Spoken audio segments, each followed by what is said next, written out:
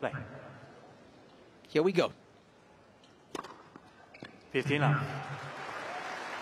Well, speaking of big serves, Mark Philippoussis courtside. Good afternoon, Mark. How are the conditions down courtside? Give us a, uh, a real feel.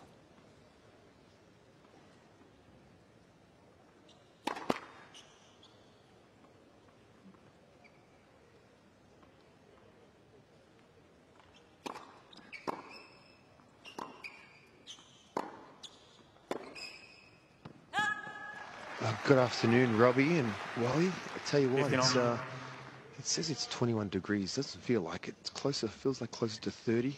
You know, it's a little swirly here. The uh, there's some wind, so it's definitely going to play a part. Um, you know, in today's match. These stadiums are bowls. They sort of trap the heat. The court soaks up the heat, throws it back at you. I was sitting where Mark was last night, 15 degrees. The court had no life in it. Rublev could hit through it. Demon couldn't.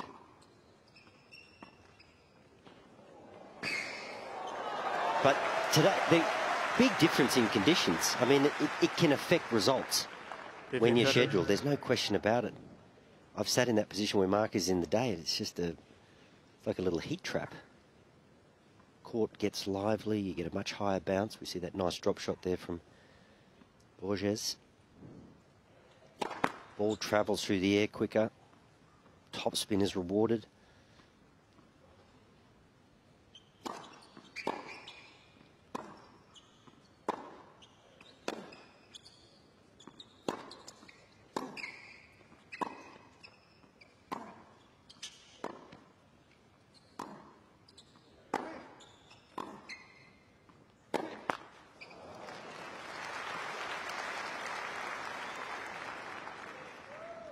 30 all. Importance of a good start against a world-class player. Always so important just to make yourself feel that you belong on the same stage as them.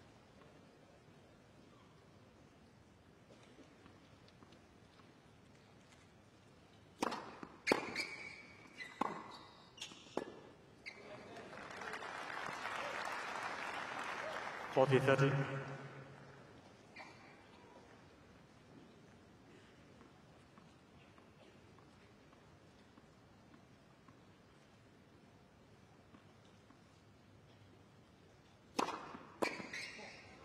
Game, Medvedev. Game. So Daniil up and running, looking a, little bit more sprightly at the start of this match as to what he did at the start of the match against Felix Aliassime. And of course, all eyes on Nuno today. That's, he's been gracing the front pages of all uh, the sporting newspapers back at home. He's, he's got his little piece, of course, a sports mad nation. You can imagine especially with football and Cristiano Ronaldo and all that he brings to Portugal is generally front and center, but he's carved out a nice portion of those front pages for himself, and rightly so, Wally. Yeah, absolutely. It's a great story, isn't it? Small nation, not a rich tennis history. And he's forging ahead in Grand Slam tennis. Plenty of support in his previous match against Grigor Dimitrov and a sprinkling of Portuguese fans here at Rod Laver Arena.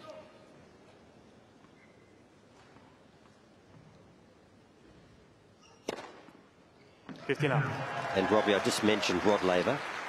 I had the opportunity to bump into Ken Rosewall this morning. He has come down for the second week. Nice. Another legend of Australian tennis and world tennis, obviously. So great to have him in the house.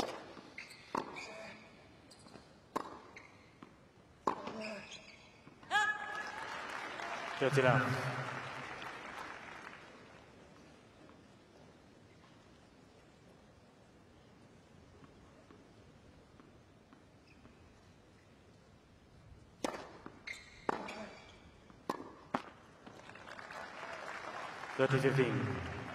And for those of you that haven't seen a lot of Medvedev play, the eye-catching thing is his returning position. Nobody returns this deep in the court. But somehow, even though he gives up so much space, it's hard to serve around him. That's not a bad play for someone who's in the shadows. 40 15. Yeah, when it comes to return leaders last year on a hard court, guess who was number one? Medvedev. It is incredible. I mean, to think that the slider serve out wide wouldn't put him in trouble on this side. Game, Borges. And that return rate, rating, in case you were wondering how, you, you look at a bit of everything. You know, the first serve return points one, second serve return points one, percentage of return games one, as well as how many break points you've converted. So that all goes into a melting pot. They give it a good stir and they pop out a rating. And his was the best on hard courts last year. Alex de Minaur, Novak Djokovic were hot on his heels. So just in- alluding to what you were saying, it might be different, but it's very effective.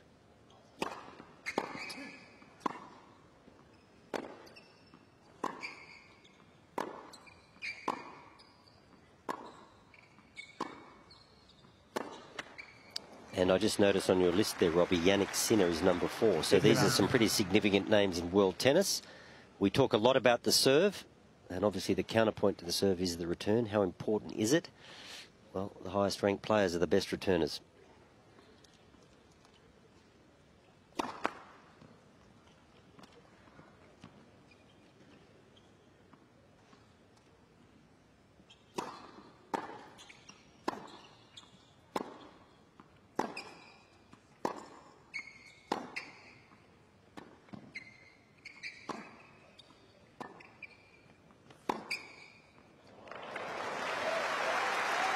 And he's an enigmatic tennis player, is Medvedev.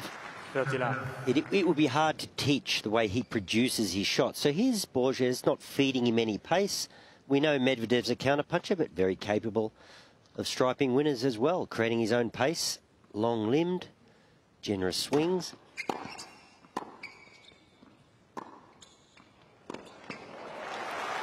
I do like the Medvedev serve too. It's it looks like he's unwrapping a parcel. It sort 30 of 15.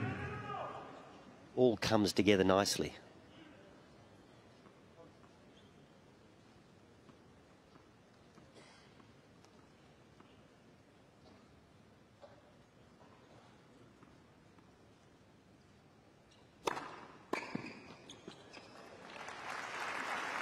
Forty fifteen. You know, talk about serving Medvedev. As you said, Wally, I, I'm a fan of his serve as well. I think he's got a beautiful ball toss, and that's where everything starts with. But where he's serving right now is definitely the toughest end. He's got the sun right now, and is also a little against the wind. Um,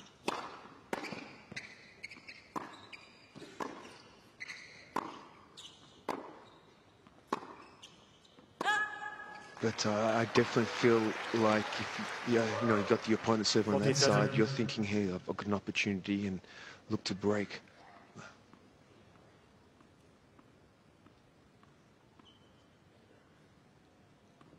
Pretty flat, pretty direct. Oh. From Medvedev, particularly on that first serve.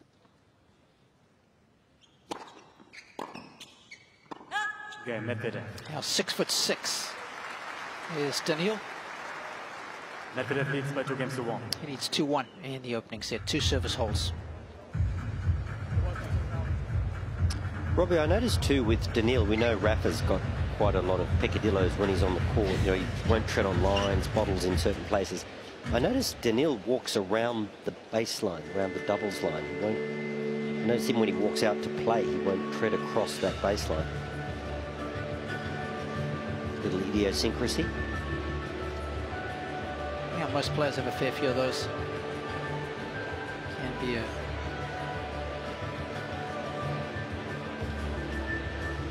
superstitious bunch, eating the same food, to the same restaurants. Of course, Alcaraz got his favorite restaurant here this week. uh, It's a Spanish restaurant that is pretty popular.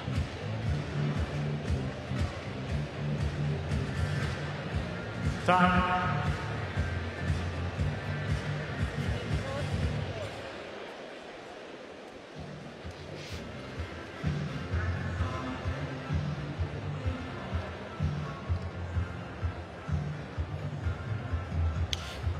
Well, if I said uh, the ladies in pink are looking good, pink is my favorite color. Famous line from a great rock band. Any idea who it might be? It's my favourite colour. Testing me there, Robbie.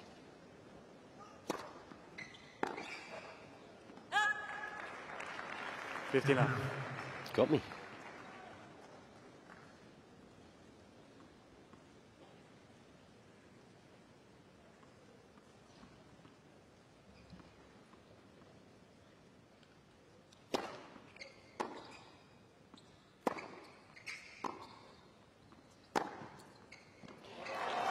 Told you the album was nine lives. Would that help?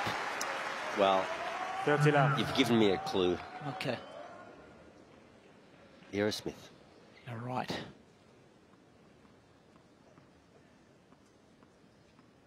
It's wonderful acceleration. Anything over 150 is big.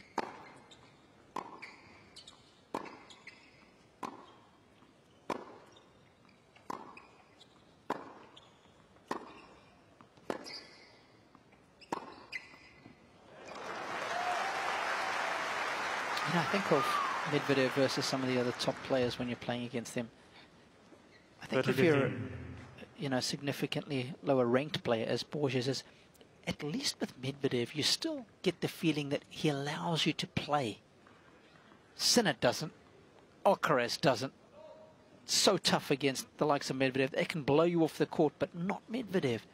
Well, look at his court position. Yeah. He, he gives you time to play. Mhm. Look at this. Look where he's returning from. It's extraordinary.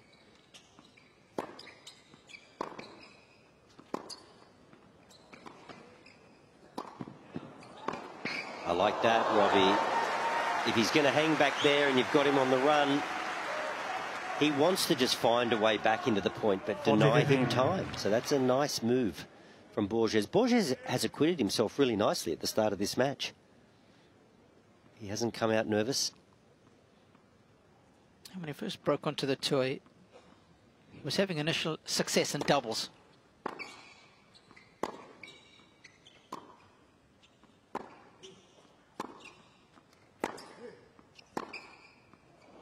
Well, that- That's the, the counter puncher. He stings you in the counter punch. 40 30. I tell you what, boys, with uh, they're, they're hitting the ball so clean right now. It's just maybe a few inches over the net, nice depth. They're, they're seeing the ball well. Considering we're only into the third game, they're, it's, it's impressive tennis. And Flip, I guess that's what happens. You enter the second week of a major and everybody, provided they're not beaten up, they're on form. Game Borges. Well, the good news for Borges as well is that he has had some experience playing against world-class competition. I think it's Rui Machado. If memory serves, it's been a long time. One of my first Davis Cup ties was against his coach. First tie I ever played for my country against Team Portugal. On memories.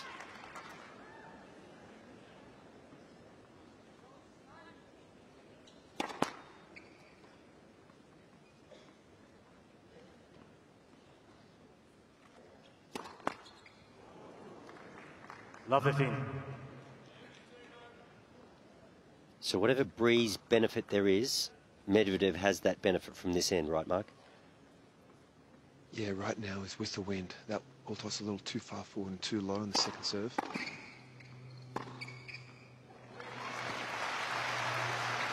But yes, Fifty right now, I mean, this it's swelling a little bit, but he definitely has the breeze behind him right now. That's Medvedev camp. Eric Hernandez on the right, Gilles Cervara making some notes there, copious notes. There he is. 30 15.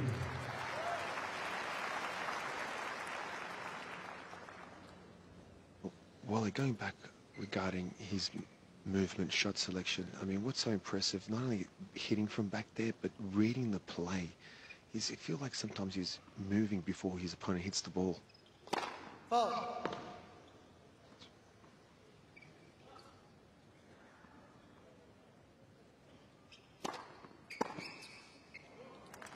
40 15. Well, he- he must because he gives he gives up so much room, so much time, and so much space. You can kind of see where the winner is or the, the difficult shot is. But as you say, he, he appears. He's always there. Big strides, good anticipation.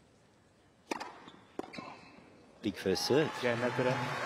And he can cruise through service games very quickly Medvedev when he is serving well. He's up 3-2. That was the Medibe that we got to look at there.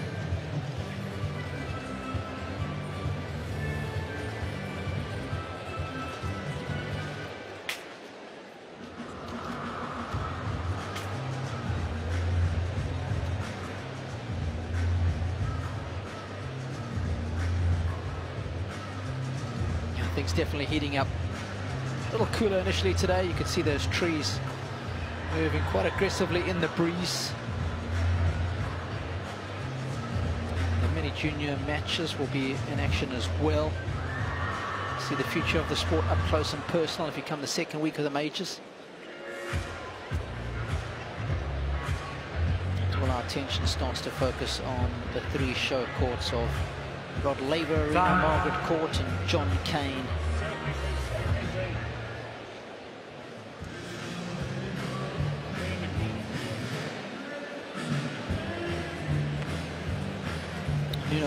Borges of Portugal. Wasn't a standout junior tennis player. Doesn't come from a, a tennis background. His dad played a bit of uh, volleyball.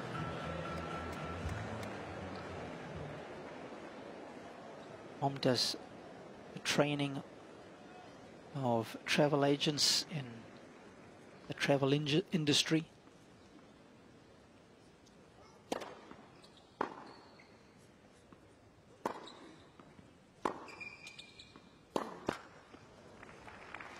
Because he wasn't a standout now 15.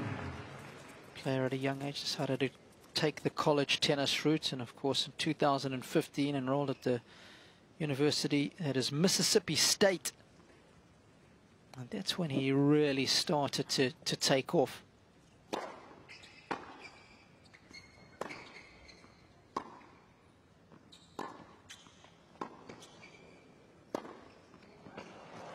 He's got a good tennis IQ, this kid. You sort of, you look at that distance that Medvedev gives you on return, and Mark has mentioned that Borges is serving from the end with the breeze. So you're kind of thinking, will we see a serve and volley? We haven't, but we are seeing the sneak. So when he feels like he's got him in trouble, a couple of quick steps in, and that's basically just taking a forehand out of the air. Same grip, same stroke production, no risk.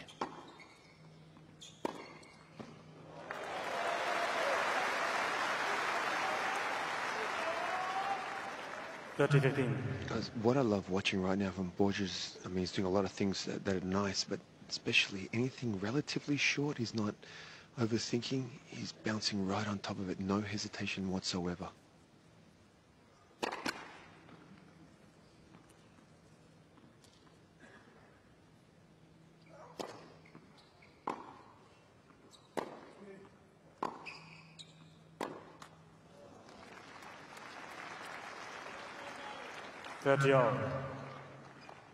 Well, you sort of think your, your mindset would have to be to come in. Short ball, if it's there to come in, he gives you space, come in. If he passes, you're too good.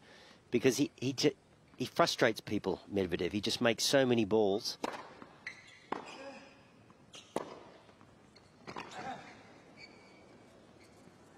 That if you just stay back and rally with him... Yeah, death by a thousand cuts you, you, you just get worn down emotionally and physically. So if it's there to hit and come in, why not? If he passes it, too good. If he's if he can hit a passing shot from six metres behind the baseline, you take your hat off to him. Yep. Let Chris. Yeah, you like your boxing analogies. You just lots of jabs, very oh, calculated jabs. Whereas you play the likes of a Sinner Alcaraz, guy's just giving you a haymaker. He's putting you on your back, isn't he? Yeah, he's throwing combinations. he's our friend Medvedev. He's got the knockout, but he's patient.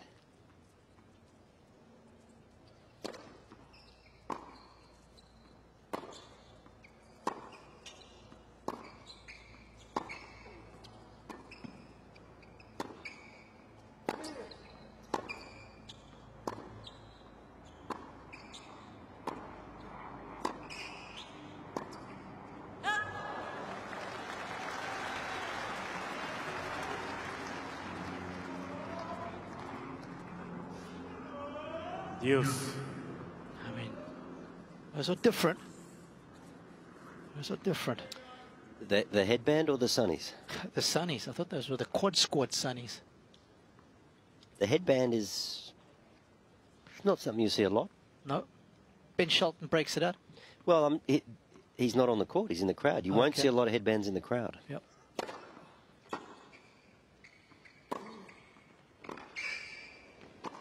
Lovely. Efficient. Smooth. Five four is forward. Advantage. Five. Borges. Great off the ball movement.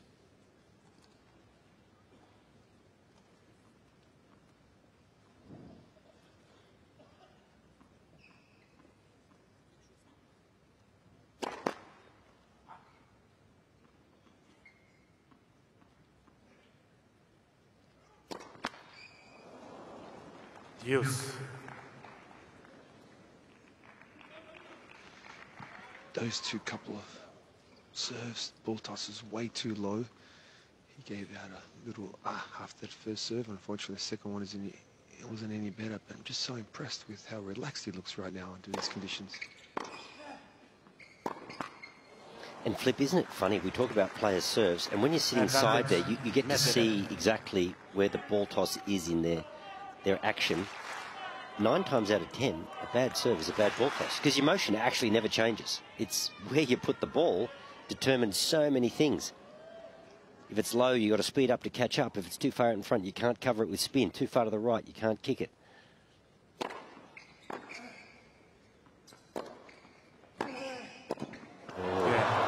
Uh, that's a pity, given how well he has been playing when coming to the net. leads by four Guys, that was probably going out by three meters at least. That that ball. Very surprised he, he hit that one. Was it indecision? Yeah, that yeah, was a strange yeah. miss. I think maybe he, he, yeah, he might initially might have left it and then changed his mind, but that was going well out. And as a result of that indecision, it's Medvedev who gets the first break. Serving from the tougher end. 15 left. First serve percentage feels good on Medvedev. It's the mid 60s.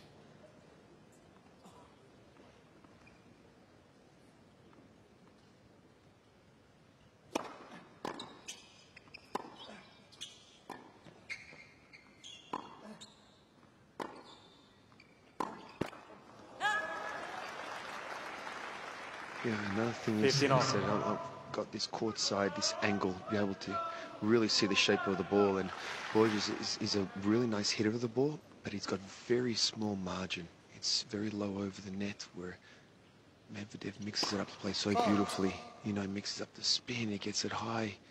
So, um, I just feel like one of those things where Borges is kind of playing on the red line, red line, especially someone like Medvedev, who sometimes feels like he baits his opponent in by giving him a shorter ball because he loves the target.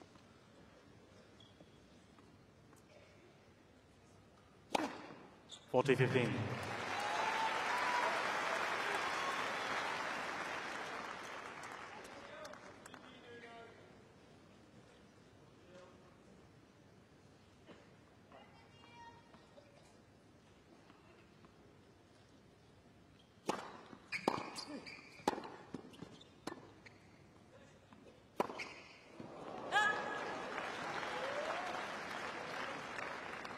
Someone in the crowd just talking 40, right before Medvedev hit that forehand.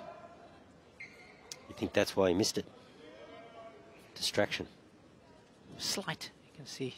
Someone called out, finish him right before that forehand.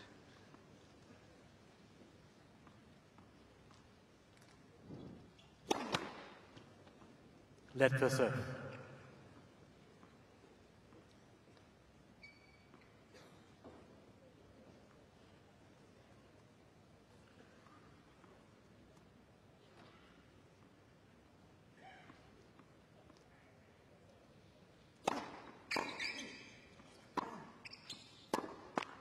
again, Medvedev. You both, please. So strong start the US Open champion of a couple of years ago. He leads 5-2 first set.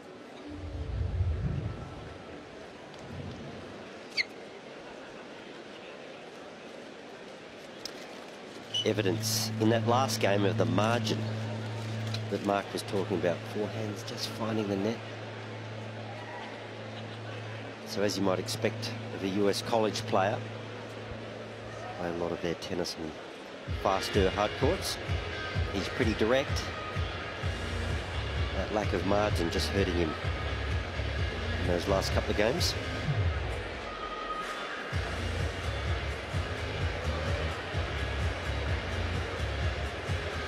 Have all the green area as well around the Rod Laver Arena and in this tennis precinct. So it provides a casualness, a, a relaxed feeling. It's just fantastic.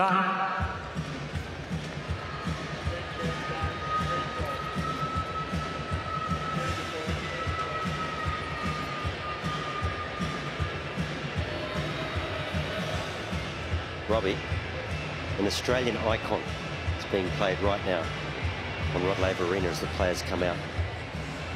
Paul Kelly. Name of the song? That's good knowledge. You've I've done all there. the dumb things. And haven't we just? Great title. Great title. 2-5.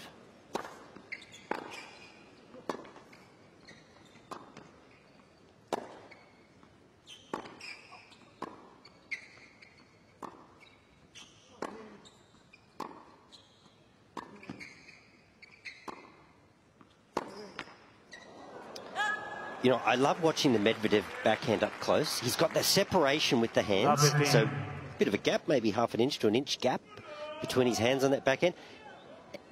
And he makes little manipulations. There, you see a good shot of it there. He'll make manipulation through the swing with that left hand to sort of, you know, determine the shot.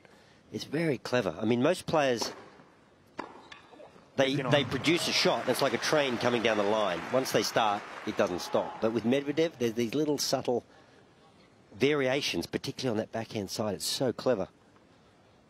Bit more left hand, bit more hook. Just does whatever's necessary.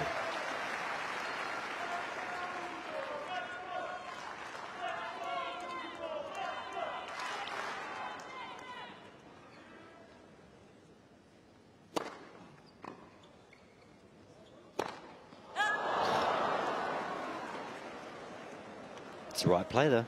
Absolutely. He has missed a couple, and but he's been very successful up until that point. He was five from five. So let's hope he continues to come in when the opportunity presents itself, because he's not going to win from the back. It's got to be an all-court game.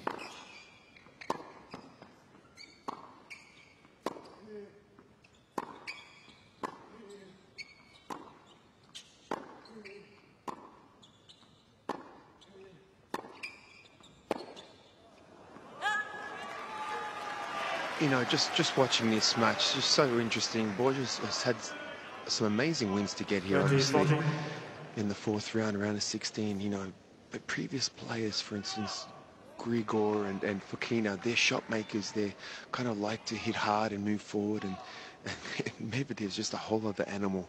Gives you nothing, you know. And I just think right now it just looks a little, you know, going for for a little too much, but doesn't look that comfortable right now. He's like a sponge, isn't he, Medvedev? He just soaks everything up.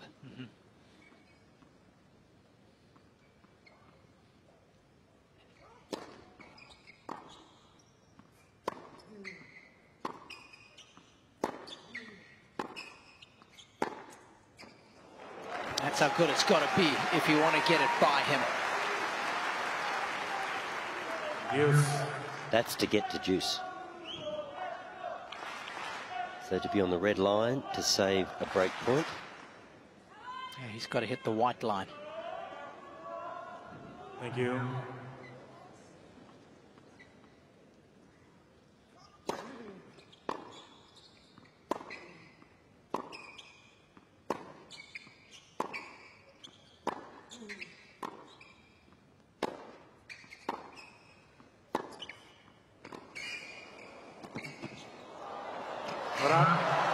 That's a stunning combination of shots. Just improving his position in the rally incrementally with each and every shot.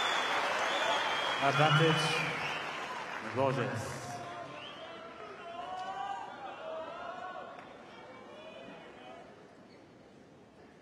As we hoped, nice to see him continue to make those forays forward.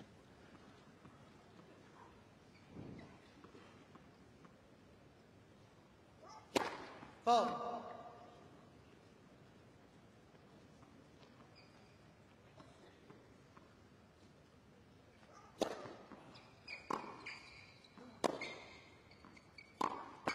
Again, Borges. It's a good hold.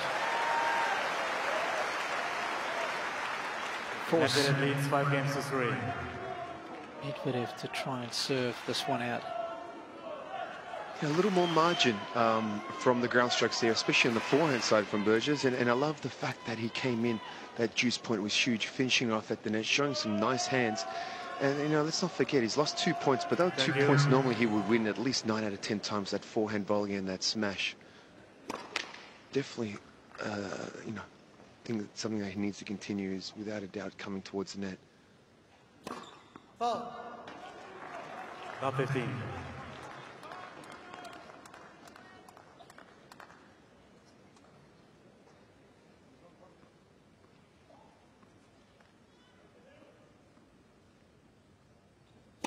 Foul.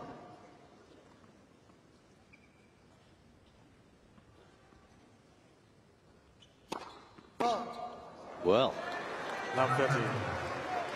Too ambitious. Second serves, two double faults. Very flat second serves, no, not too much spin. Foul.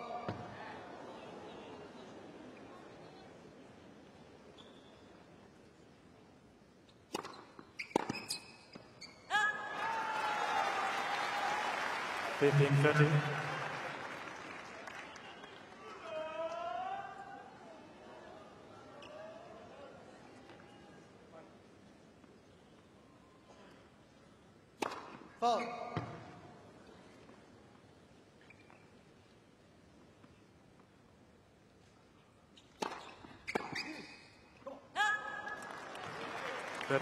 So he, he- goes for a couple of big second serves, doesn't make them, misses his next two first serves, and we've seen two huge second serve draw errors. So full of confidence, didn't doubt himself at love 30, nothing safe.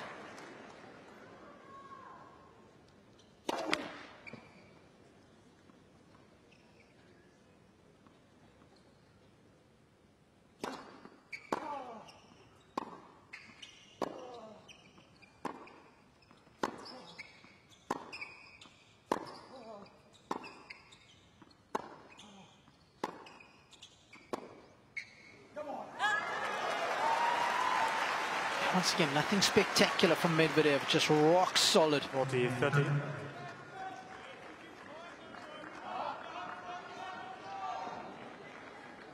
We saw this against Auger Aliassime. Seemed like when he needed a point, needed a game, he had it. Stone. That was 204. Pretty good first serve. Use. Not so much the pace of the return, just the direction.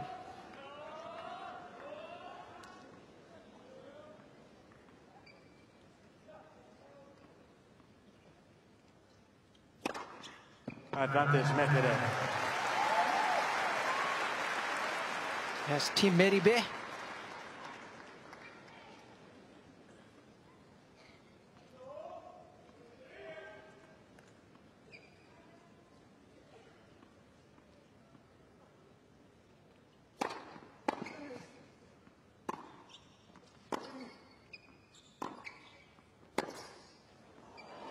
Oh, that is geometric perfection.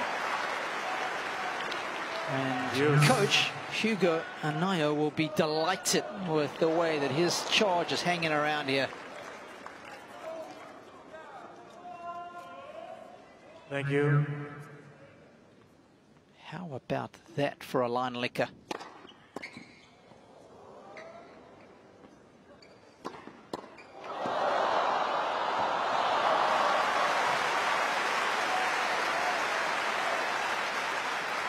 It's always interesting to me when a player has a ball that easy, why you wouldn't just bury it into the open court. There's no way he can cover the open, so he stays. Really pinched the point. Yeah, and first set. Gets there in the end after a couple of double faults. And the first set has gone the way of the number three seed, six games to three. My favourites, it's got to be Wanaka Tennis Club down in the South Island of New Zealand. When you talk about picturesque settings, it's definitely a top five seed. Oh. Love 15. Got a little over his head. Is that because there's some great trout fishing nearby, Robbie? You're no, a little biased? No, I'm strictly tennis is the criteria here, Wally. Uh, mountains on the one side, the lake in the background. It's spectacular setting.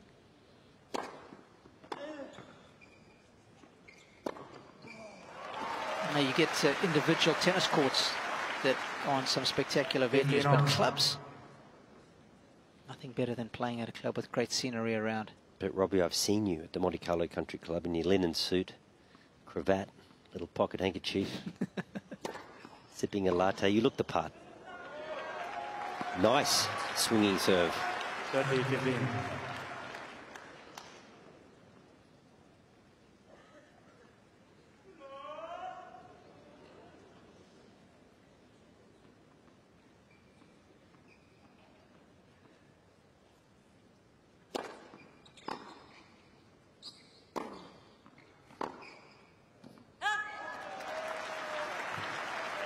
Forty fifteen. I still enjoy it. Good hit, nice sweat. Still love my tennis. You realise what a great sport it is. It, you haven't played for a while, you're sore everywhere.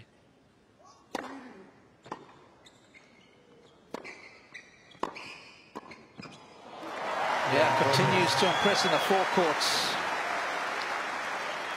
And we're up and running in set number two. You know, Borges with a one game to love lead. But of course, something that uh, Wally has already highlighted is how far back this guy returns serve. You come out the tunnel and you're in line with where Medi's returning. So we are getting a couple of second serves there at four metres behind the baseline. We're five, six, seven metres behind the baseline. It is unbelievable how much room he gives up. And you think he's susceptible to angles.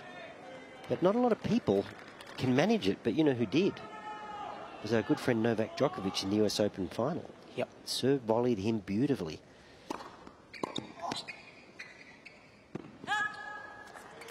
A lot of wide serves out to the forehand. Yep. Especially on that deuce court. Yep.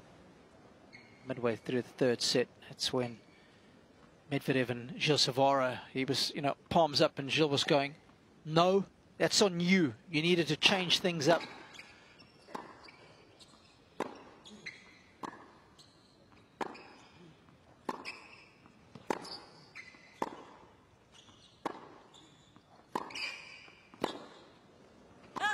And the only thing I would say to that, Wally, is that he was one point away from being set all, right, against Djokovic in that match. So despite the fact that Djokovic was, was getting to him with that seven volley, he was oh so close to being on a par. Oh, and I'm not suggesting it's a blueprint for victory. I'm just saying no, it's no, no. a I, I agree. it's a possibility. Yes. Um, Robbie, I always find the wide serve interesting because if you serve it at around 170, 175, the side spin takes effect. So with every revolution, it's getting a little further away. But so many players go 180, 190 wide, too much forward momentum. You, you don't actually get the cut.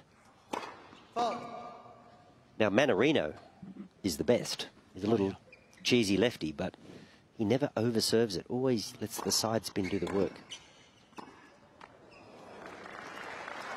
Yeah, it's, it's like a, a good did putt he in golf. You've got to marry the pace with the break right. I Wasn't getting much help yesterday from uh, my teammate, Colin Fleming.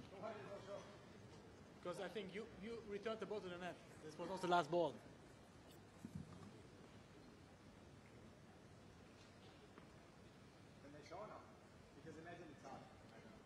Next time you have to ask me earlier, then, I, then I'm going to request it for you. Wasn't sure about that last ball at his feet. Game. Medvedev. He uh, was just asking, I guess it's too late for a replay. He wanted to have a look at it, and he said, yeah, it's a little too late.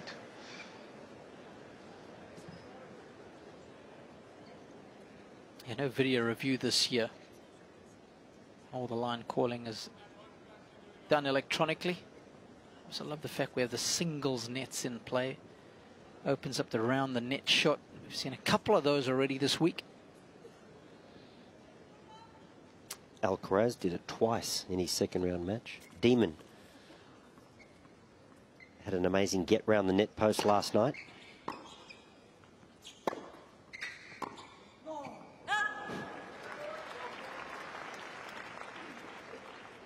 Fifty nine. Again, great to see Borges moving forward to the net. You know, it's no surprise he's comfortable at the net. Like you guys said, going through the, you know, playing college, you play a lot of tennis, singles and doubles there.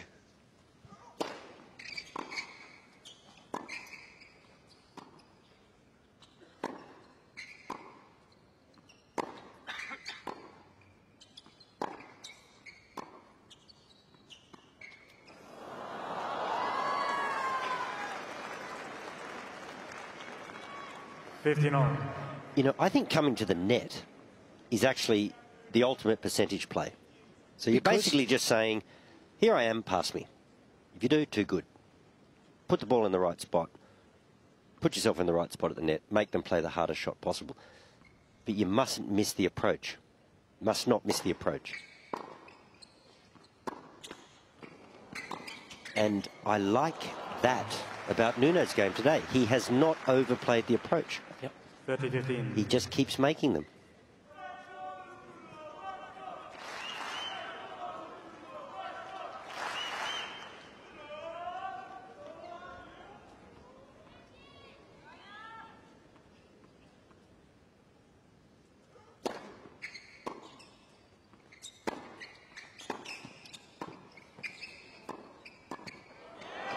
Oh, you would have liked that even more, Wally. Just patrolling that net like a, a Rottweiler on guard duty. Nothing's getting by him. And guys, he got down so beautifully, not only for both volleys, especially for that first forehand volley, which wasn't an overly easy one, and covered the line, beautifully done. Fault.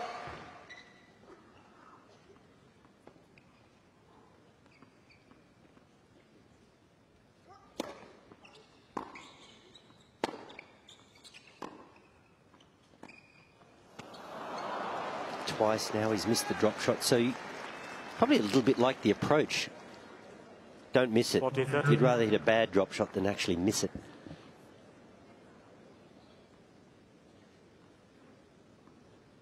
He's got a long way to cover.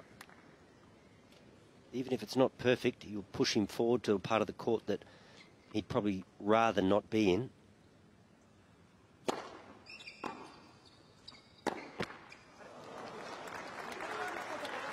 You know, we're, we're back at the margin right now. It's become very flat. His backhand is a naturally very flat shot, but his forehand, he can give it shape, but, but this it's just very flat right now. And, and like I said, zero margin. You know, he's against the wind right now. You can afford to get under it to give it more.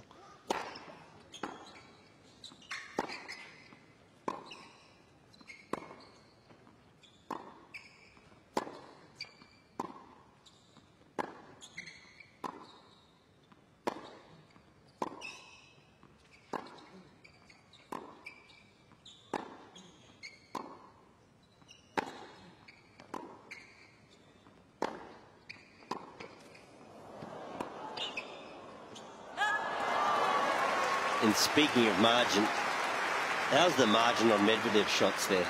Just Advantage. right amount of spin, Medvedev. height. You know, the scary thing is, Wally, he looks like he's warming up at times. He looks like he's hitting Yeah. a 50% shot. And he's just saying, all right, I want you to try hitting this harder. I'll be there. And, uh, no, I got this one as well. Go try again. You know, my old coach used to say to me, never send a man to do a boy's job. That's Medvedev to a T.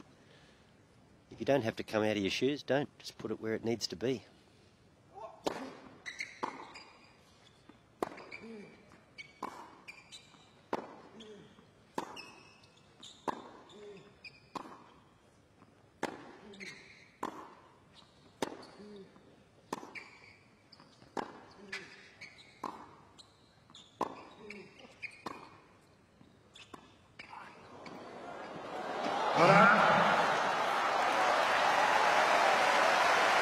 Once again, we've seen him miss a couple in this game, but it's the right shot. So he doesn't go into his shell. He pulls trigger again. Medvedev looked like he'd settled into one of those rallies where he was just going to outpatient his opponent, but that was brave. Break point down.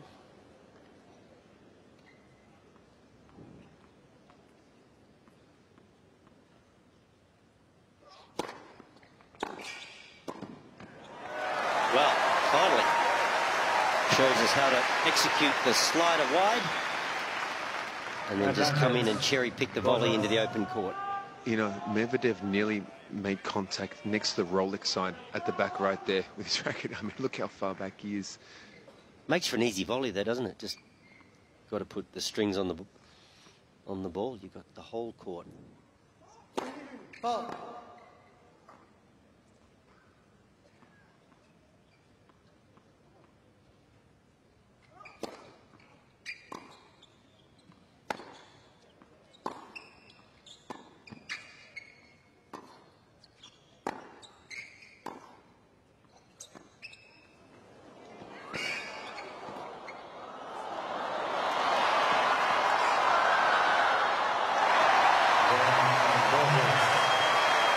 Oh, it's great tennis craft. Fans are loving the show that they're putting on. And Borges playing his part. Borges leads two games to one. Well, Mark's talked about the trajectory of Borges, so that's hard court, that's college. But the drop shot, the clay court has played that well, so maybe that's the nice blend of his youth. The ability just to soften the hands and play the drop shot. It's been effective. His youth growing up in Portugal on the clay.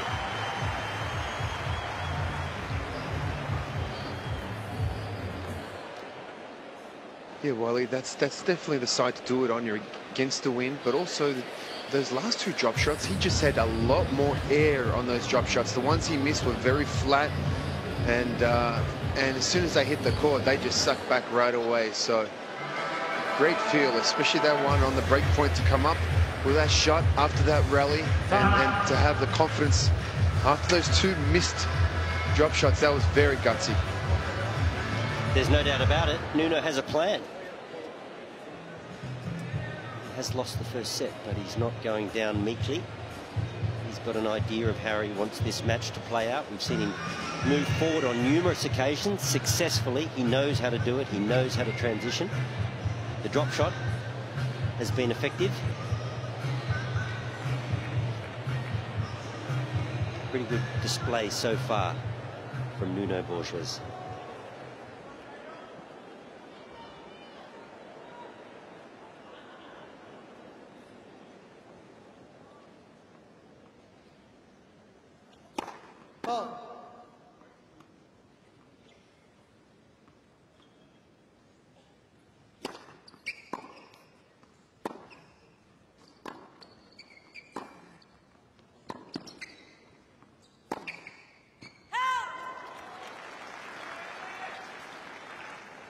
Love 15.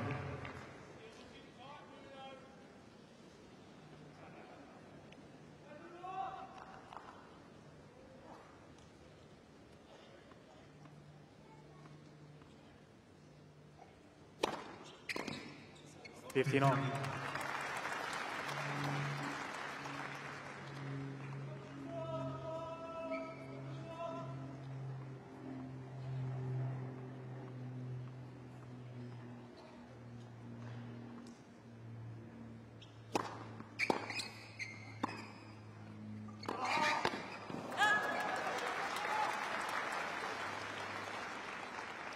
Thirty fifteen. Mentioned the fact he's been a major champion. He's also topped the rankings for 16 weeks. Did Daniil Medvedev. Has been back there. That's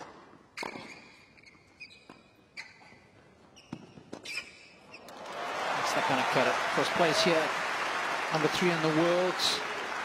And he's actually one of three players in contention for the post-Australian Open number one ranking along with Alcaraz and Djokovic. So there's uh, a chance he might get back there.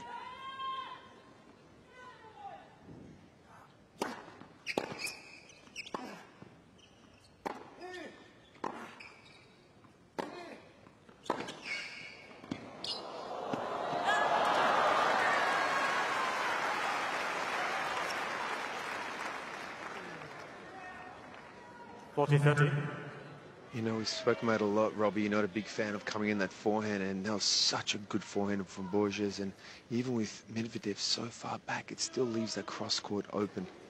Doesn't it just mock? I mean, the only counter to that is, as you know, the net player running to cover that cross court in the hope of anticipating. Game, just like that you're snuffed out. Half chance. Not to be mentioned, he was a, a, college standout, this young man. Played in the finals of the NCAA singles final back in 2019. He actually lost to Paul Jubb of Great Britain. It was a big upset. This guy was the top dog back then in college tennis, many accolades. He said the, the match that hurt him the most at college was actually losing in the semi-finals of the NCAA championships the year before.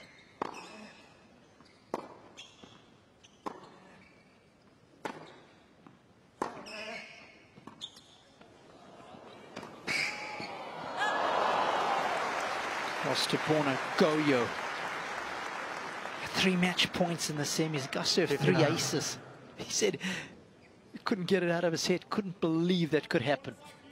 It was all over him. Well, he can forget about it now. He's in the uh, second week of the Australian Open. Yep. Playing the number three player in the world and giving a pretty good account of himself. That Yeah, and a shout out to Borna Gojo, who's been having a, a good career himself, trending in the right direction.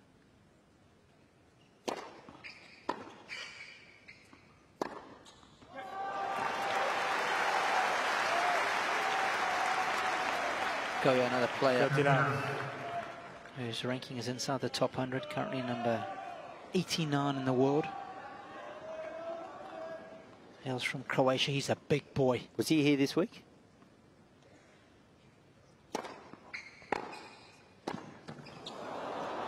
Well, I'm gonna say it was going in. One of the one of the hard things when you serve volley a player this deep is when to split your step. It's such an unusual visual. You've almost got to split your step as he makes contact and then move accordingly. On that occasion, he just sort of charged the net to make ground. Borges wrong-footed.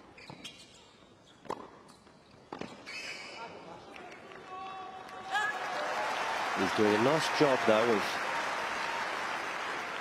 moving forward, not overplaying the approach.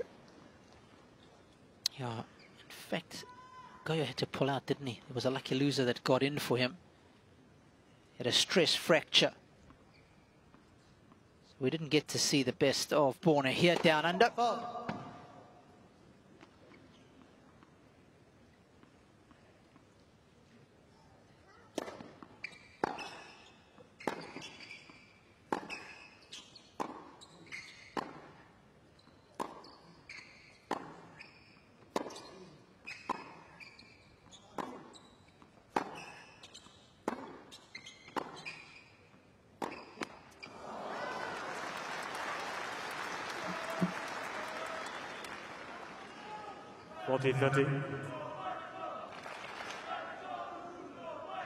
Always hard for a, a, a, lesser ranked player. You come out on a big show court, you've got to play, you know, one of the stars of the game, one of the top seeds.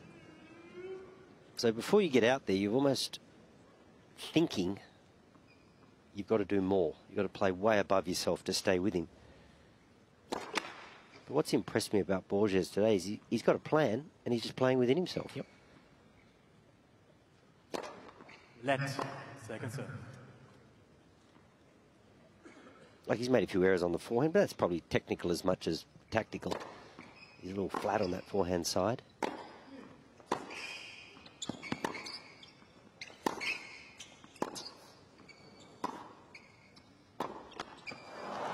So there it is again, just a yeah, little bit direct on occasion, but the way he's structuring his points is really good. He's taking Yes. advantage of Medvedev's deep court position. It's not easy to do. A lot of players have trouble hitting through or around Medvedev, but we've seen the combination of moving forward to the net. We've seen the drop shot. He stung him with a couple of forehand winners. Been a really good display from the the man from Portugal.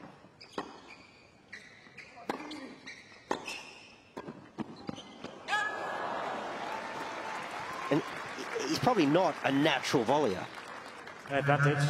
He's not a bad volleyer, but every now and then he'll miss a volley when he's not coming in in complete control. Just sort of charges it, runs right through it. The split step, the balance is important. Couple of loose errors brings up a break point. Fault.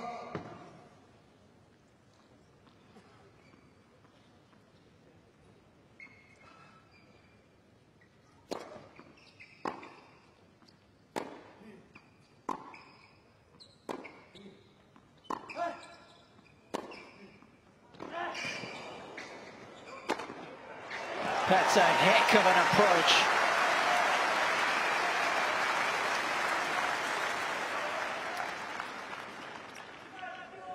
Deuce.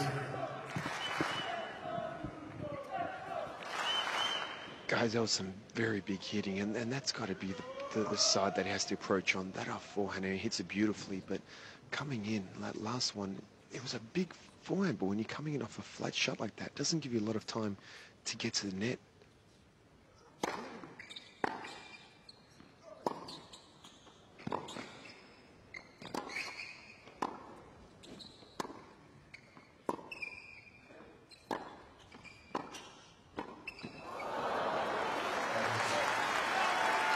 And that's where it's tricky.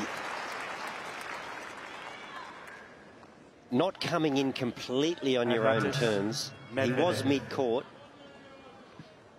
And I know you don't like coming into the forehand, Robbie, but that was coming in cross-court. There's a lot of angles you have to cover from that Yep. part of the court. I don't mind coming into the forehand if it is same side of the court as yourself. Well, he was over near the sideline. exactly. So to, to hook that cross-court and then try to cover the court was problematic.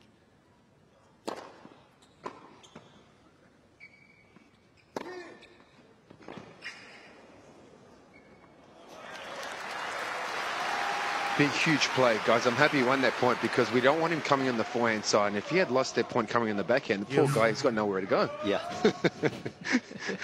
what else is there left? well, I guess I guess it essentially coming in line, approach line.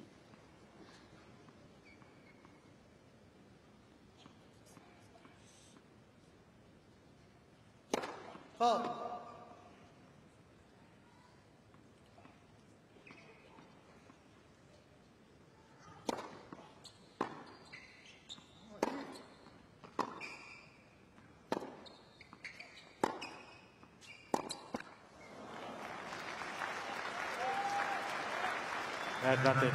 It's funny with Borges, isn't it? There, there's quite a big difference between his best and his worst forehand. Sometimes a player might shank a ball and then you know you can miss by a big margin, but every now and then a, the ball will come out of the middle of the racket, but it'll be an extravagant miss on that forehand wing. But when he gets it right, it's it's a cracker.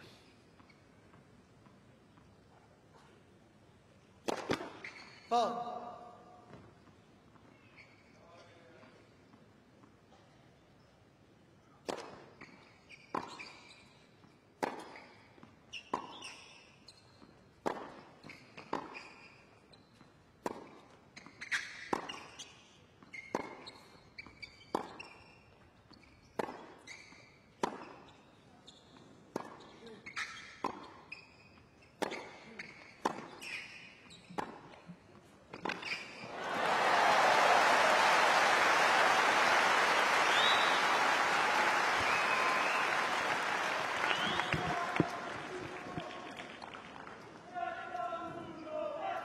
Love the fact he's not 100% coming in, but it's in his advantage.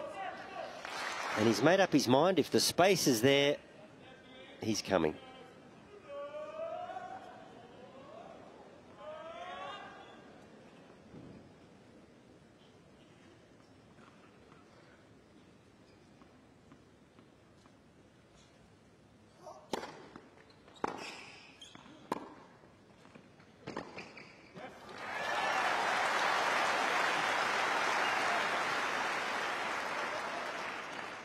Advantage, I mean, what, what a fantastic point. Great slider out wide for a second there. I thought, oh, could have served volleyed, but that forehand open court like that, Medvedev, I don't even think he saw daylight. He was in the shade the whole time.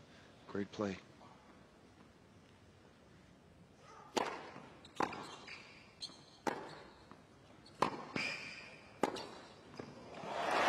he's hit that shot well.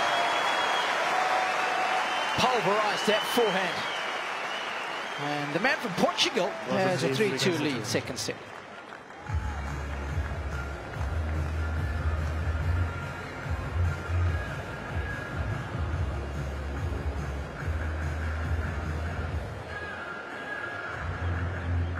It's great play from Borges. Accurate serve. There's Medvedev in the shadows. Standing in the shadows. Open court forehand. Look at the time that Medvedev gives you, courtesy of his depth in the court. He's a metre inside the baseline. Nothing extravagant. Open court. This is a lovely point to clip up if you're looking at being a good net player because you can anticipate the cross-court forehand. You're going to hit down the line, come in. And if Medvedev is there, where's the most likely passing shot going to come? He's probably going to hook that cross. Yeah. So you're again, you're ahead on both those patterns of play. Time. So uh, that one's good for the coaching manual.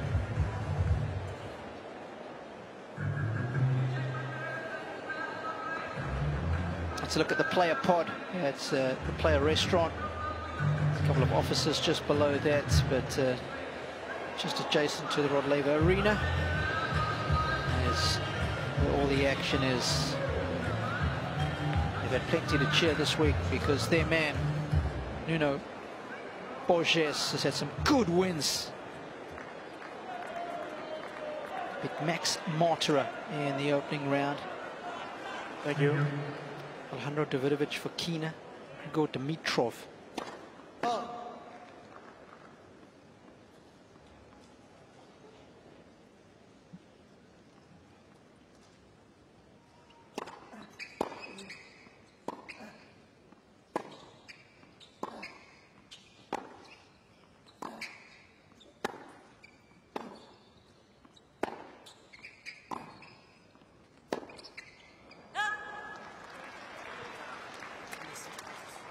Borges but making it through the round of 16 here.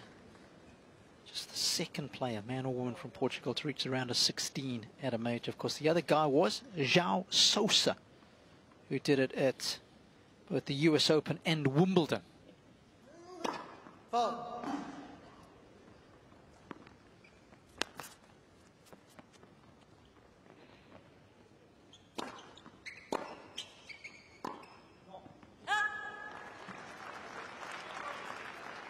59.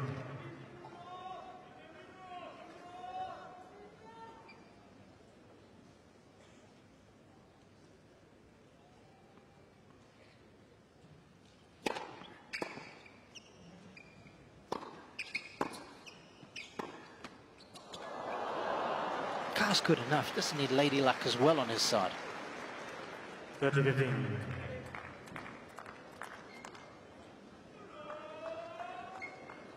As is standard in the game of tennis, we apologise for a net court. Nobody, it's not authentic, but it's a nicety.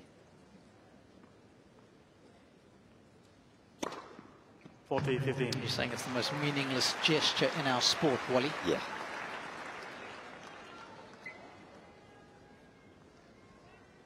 We've yet to see any player say, hang on, I don't want that point. Have it. You have it. Foul.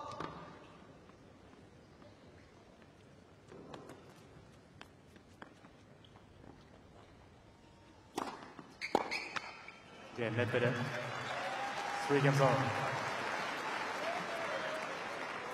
Gilles Cervara, front and centre. Gaiton on the left. Is uh, the physio. Eric Hernandez. Top left, Ollie van Lindonk, who has been his agent for a number of years now.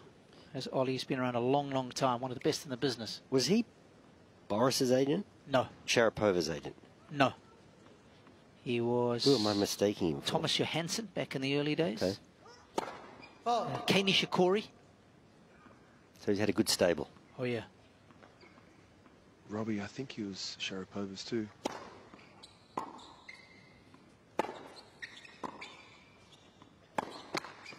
Oh, my bad, Mark. I thought that was Max. Max Eisenbud was Last uh, Sharapova's agent, but of course part of the IMG fraternity is Ollie. So uh, I stand corrected. Uh, I, I think I, I remember playing an exhibition in Vegas with Andre. She was there and, and he was by her side. So maybe, I don't know if it was too long, but uh, at some stage. At some stage.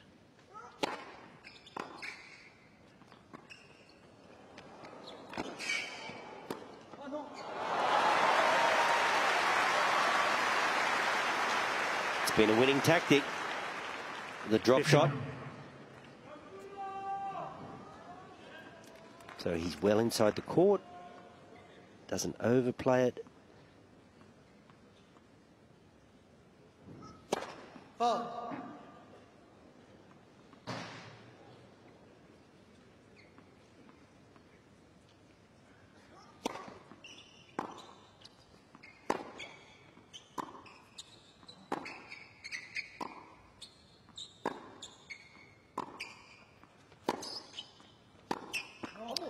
The other night we, we called Felix Auger Aliassime up against Medvedev and we were saying Felix, you've got to shorten the points.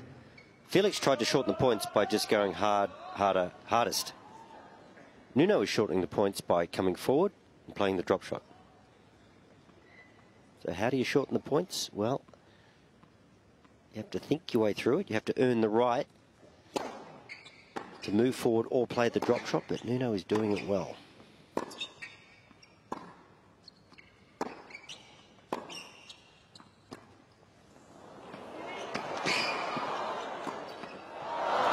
He's doing it very well. And it makes sense, doesn't it?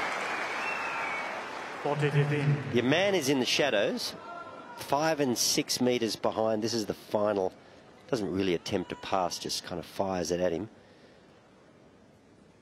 He's five or six metres behind the baseline, so the drop shot makes sense. Foul.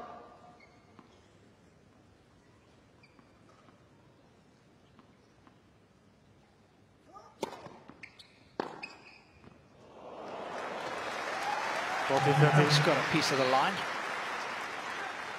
But yes, definitely it's the right play. I mean, uh, but still, you know, meters behind the baseline, and he still makes you hit that one more shot. He still makes you hit that pass. It's a joke, right? When you see said courtside, Mark, it's hard to believe how good he is from back there. Of course, his good friend Yes. Andrei Rublev, who we saw in action last night, calls him uh, the octopus. That's what it's like playing against him. His tentacles are everywhere.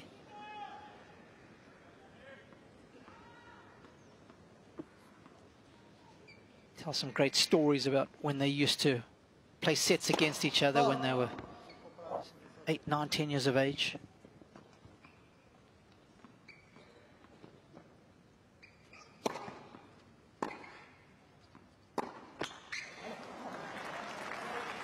Advantage, Medvedev. He's done a good job of fighting off break points, has Borges. And there's a reason for everybody's ranking, and just every now and then the margins aren't there on the ground shots, and he finds the net more often than he will find it long or wide. That speaks to his hard court background in US college. Putting pressure on himself here. Foul. Thank you.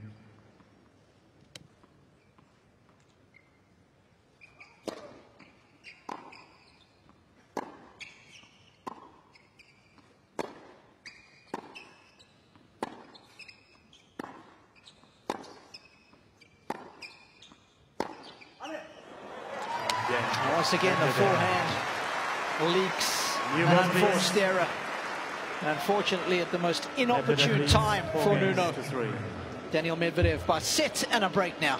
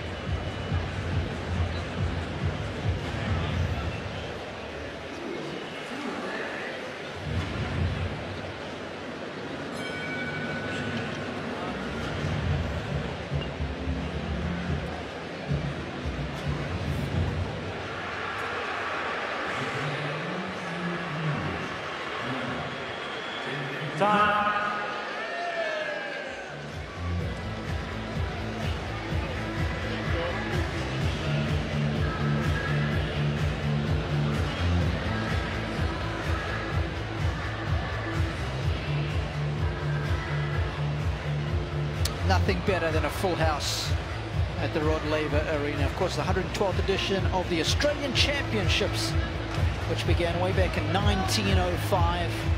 It's the 55th Australian Open. And for the 37th year, we are here at its current home, that is Melbourne Park. 50. Robbie, we like our sport down under. We're a very new country. Yes. But already in the 1800s, we had the Melbourne Cup, we had the Sheffield Shield Cricket, we had the Australian Open, the New South Wales Open. Wow. Organised sport came very quickly to the colony. Love it.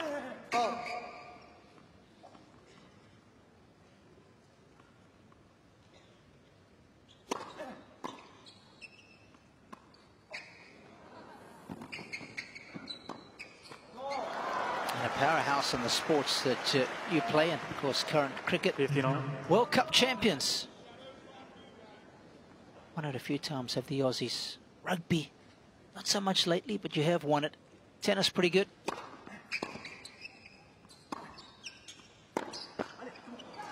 There's that forehand just 30 15. every now and then when he can't hit it on his own terms, he probably just needs to be a little more willing to flight that forehand. Very good when he takes it on the rise. Foul. Borges.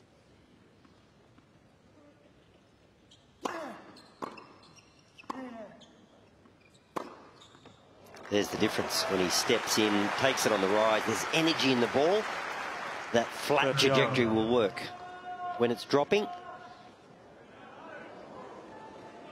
fine margins. When it's dropping, just got to brush up the back and create your own pace and margin. Net for serve.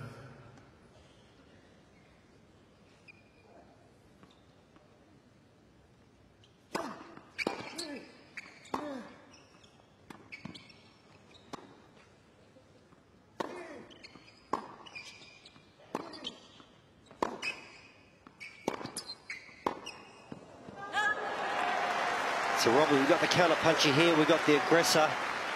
We talk about tennis, there's so many facets to the game. Who's the most complete player you've ever seen? Male or female? The guy that, or girl, that could do it all. Defend, attack, slice, top spin, serve volley, stay back, counter punch. Be the aggressor. Foul. Is there anyone? Springs to mind? I mean, Roger Federer was He went close, complete. didn't he? Yeah, You'd have to give the nod to Federer. I think so. Net second serve. for just the array of shots and the array of tactics that he could deploy. Foul. Game. Borges. Well, out of the blue, a loose service game Four games on. from Mr. Medvedev. Yeah, he started the previous service game with two double faults.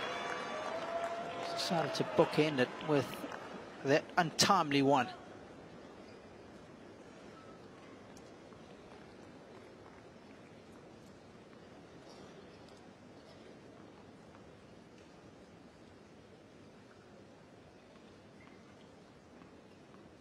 Things getting interesting here in the second.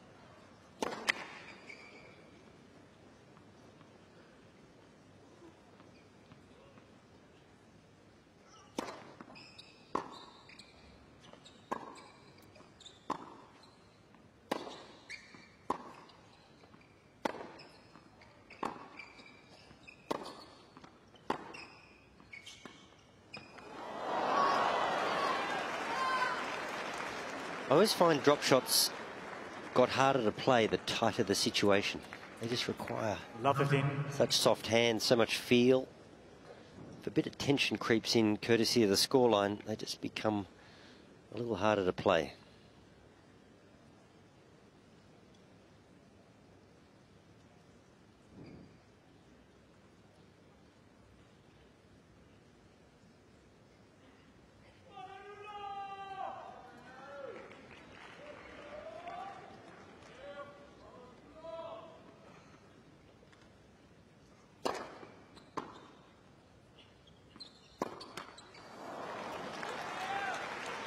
Love 30.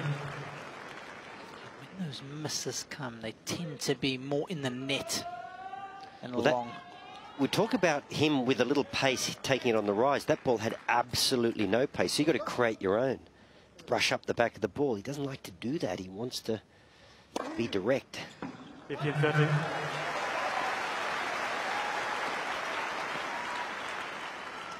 Speaking of direct, 202. Yeah, quickest serve of the match that was.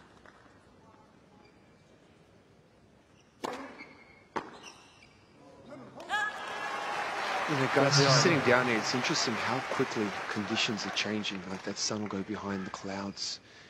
Condition, you know, will get colder now. It's out. The winds drop down. Then a wind will pick up. It's constantly changing.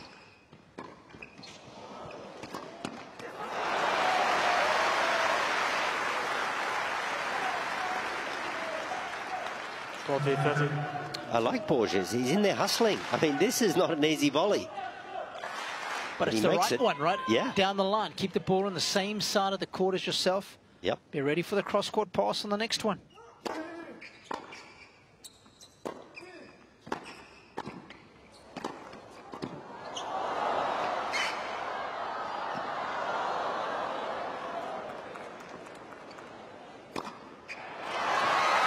Outstanding. What an athlete. What creativity. What hand skills. Use. And you talk about what an athlete Medvedev is, Robbie, and he really is in terms of endurance because he covers so much territory courtesy of his depth in the court. He covers a lot of ground. He's deceptively quick. He's a hard man to tire out, it seems. Mm-hmm. Foul.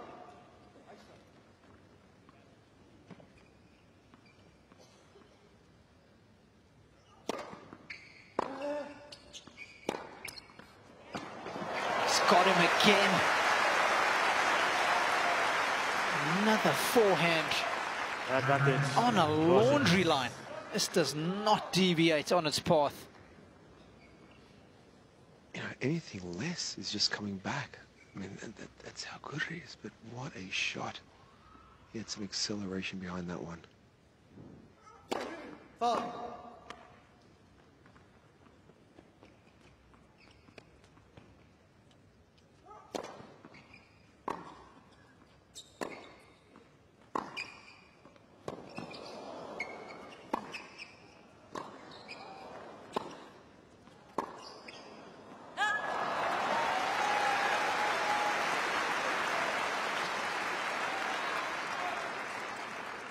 In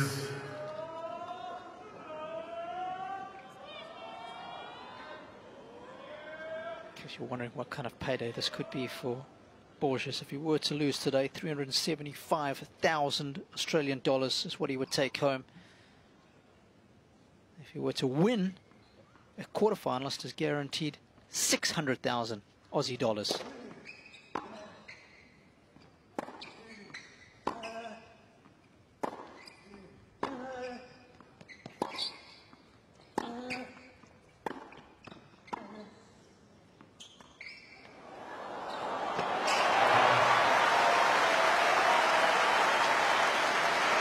Wow, guys. I mean, the hitting, the stepping in. I mean, as much as as much as Borges' game and his physicality is impressing me, one of the biggest things is his mindset.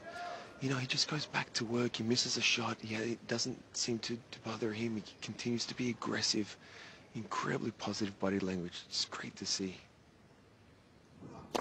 Foul.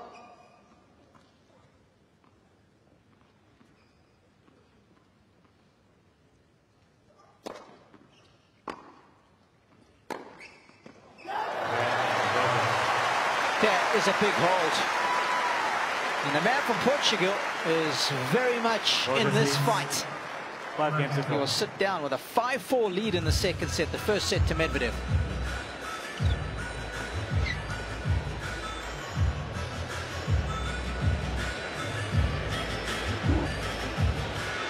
Just having a look at that final forehand from Borges. And, and to Mark's point, the great thing is he's identified a couple of ways forward to come in, to play the drop shot, and he he accepts he's not going to win every one of those points, but he's not deviating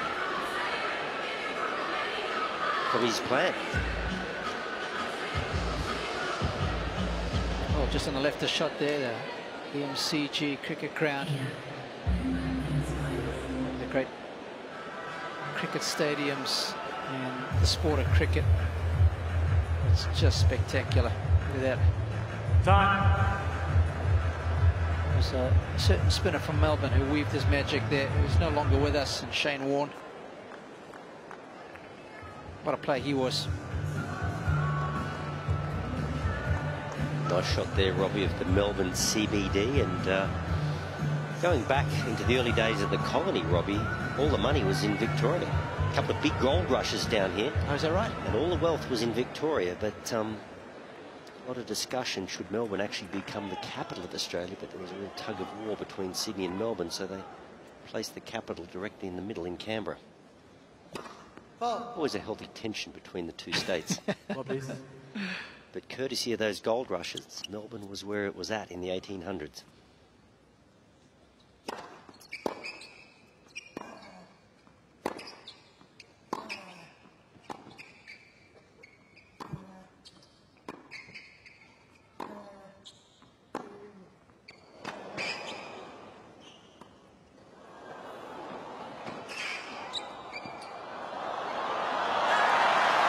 Can't believe he's been heavy-handed there. Structured the point so well. Big meters covered by Medvedev in this point. As 59. you said, he's fast, he's got big strides. He covers that ground effortlessly, does Medvedev. And he's six foot six, so you've got to get that ball up sharply. Just couldn't quite control the lob.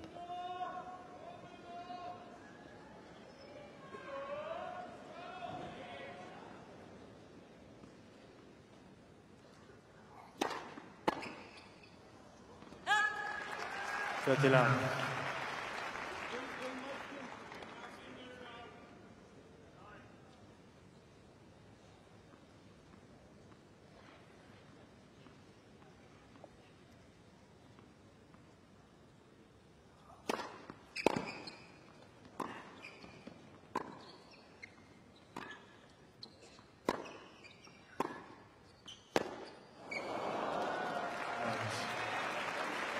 There was something in the last point after he lost, he missed that return. He looked at his box and then on to the umpire and said something. So he's not, Borges is uh, not happy about something, but I'm not sure. Got no idea what that is right now. Foul. Not asking for the trainer.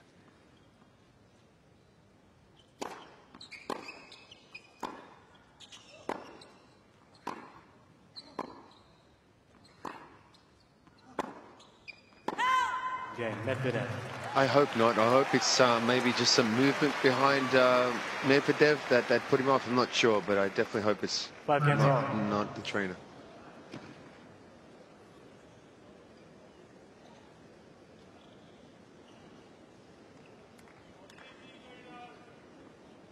Wonder if this match will take on either will be Hurkacz or Arthur Cazaux of France. currently doing battle on the John Cain Arena. Five all first set.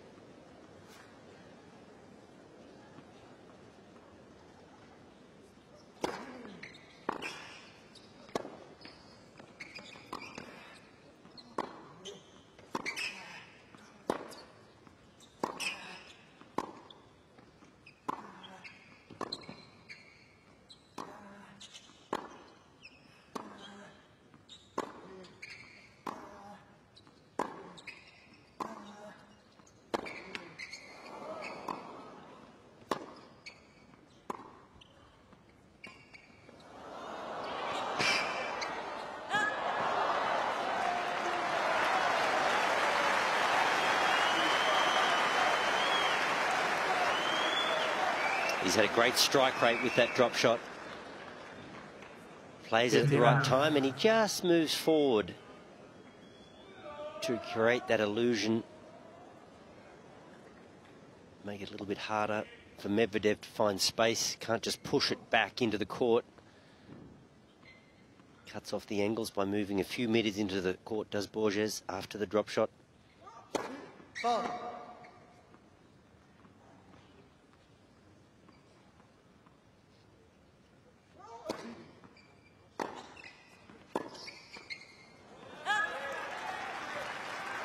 It's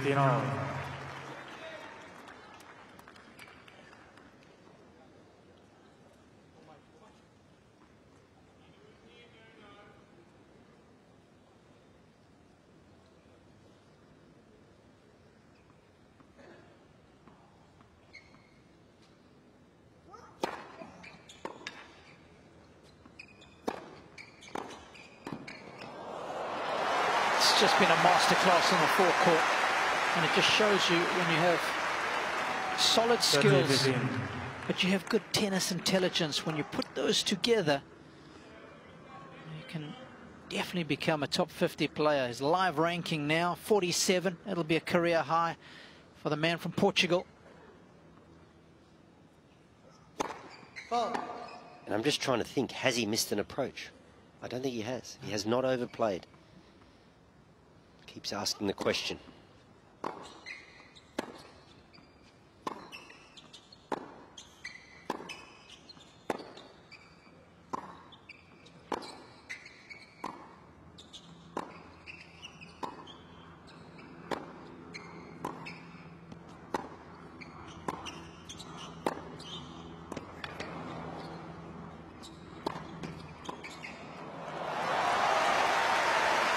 He really has got Medvedev at sixes and sevens. You can see towards the end of the rally, Medvedev is looking for that forehand approach down the line, isn't he?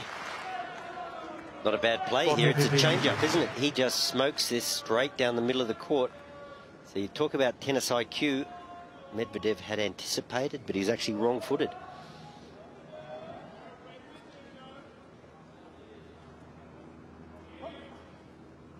Giving a great account of himself out here this afternoon, Nuno Borges.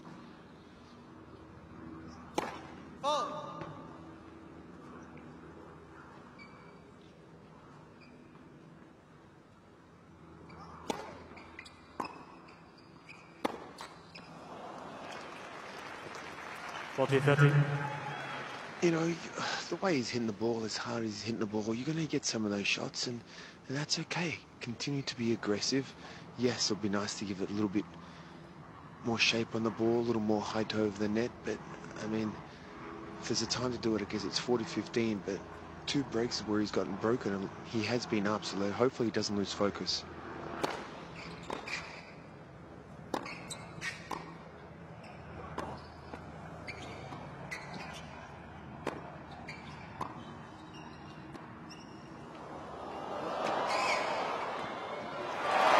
Oh, stop it. Oh, the feel is otherworldly. Hugo is delighted because his charge has got a Well, this is 6-5 lead.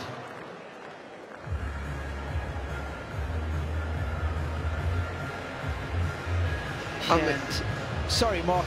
Uh, I'm sorry, Robbie. I, I, I'm just sitting here with my mouth open a little bit because I didn't think that shot was on, to be honest with you. I mean, my God, that had to be absolutely perfect. And again, Medvedev let him, making sure he hits one more ball. What a point. He put his hand up as if to apologise. Did that drop shot clip the tape? He just apologises there. Uh, yeah, I, I, I, would say no. If, if anything, maybe kissed it a touch, but I could hardly tell. But uh, he shouldn't apologise. That that's just that's just too good. Had time to adjust his sleeve, come in, play the volley. He's enjoying himself out here. Yeah, his off-the-ball movement is just so intelligent.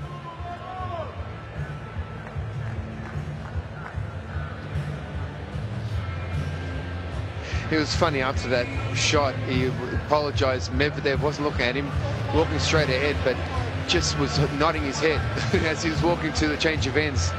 I don't know where. Uh, can't believe can't believe that shot or, or what, but. Uh, I mean, there's some serious tennis being played, and they're using every part of this court.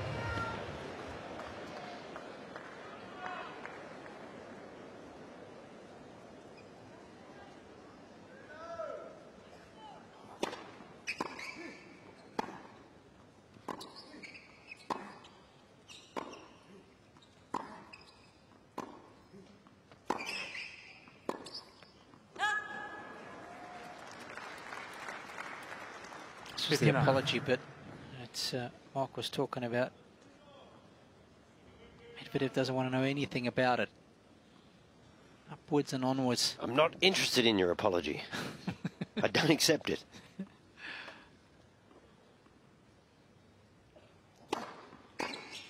Thirty-nine. Big discrepancy in the rankings, and Medvedev is having a tough time of it in this second set. But he, he's not looked frustrated at all, Medvedev. He's calculating as ever.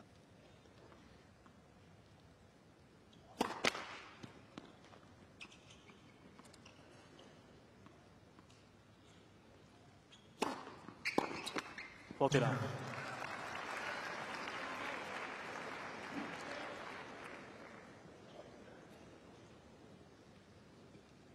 Chicago Bulls hat on. Tends to stick with the one hat for the tournament for the most part, does Gilles. Game Medvedev.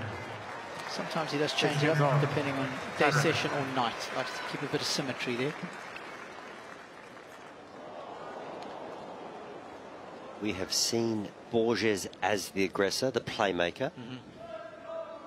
Fine margins on the drop shot. We've seen him flatten out the forehand and get some real value, come to the net, play some telling volleys. Can he maintain that level with, ten, with the tension of a tiebreak? Let's wait and see.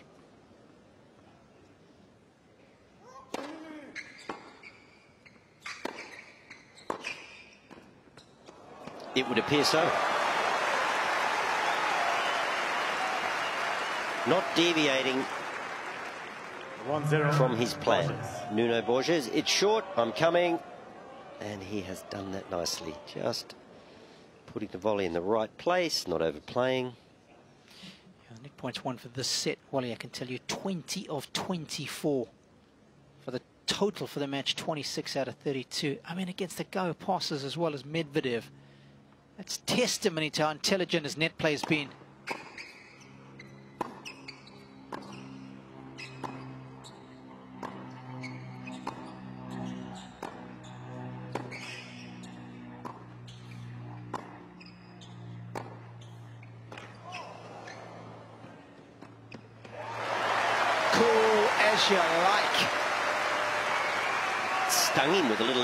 Pace on the cross-court backhand. 2-0 Borges. It wasn't extravagant. That one there, just a little more pace. Caught him by surprise. Up the ante. Two one.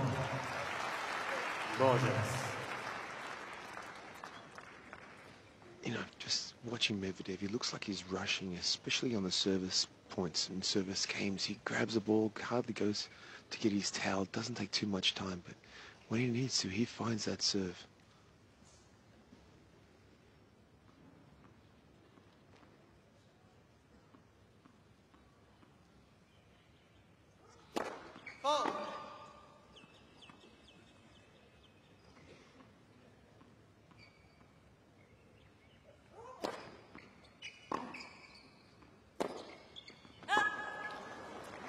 That is going to happen. If you're trying to make things happen, the margins are fine. There's a little bit of tension. We have to expect that from Borges a little bit in this tiebreak. Just can't afford too many of them. And Mark, isn't that a refreshing change? We're one hour and 38. We've nearly completed two sets, and one of those sets obviously in the tiebreak. And in terms of match duration, the speed of the Medvedev play is good. Yes. Between points. Fault.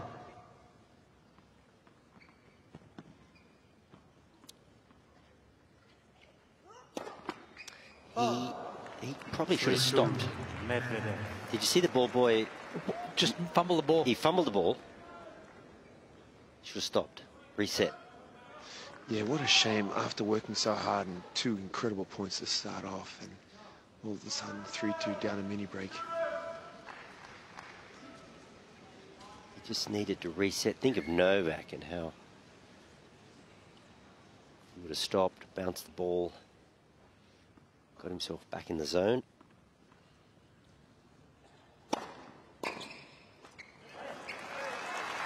So a flurry. If I can use that collective now, Robbie, a flurry of points for Medvedev. Some errors coming off the Borges racket after a crisp start to the tiebreak from the man from Portugal.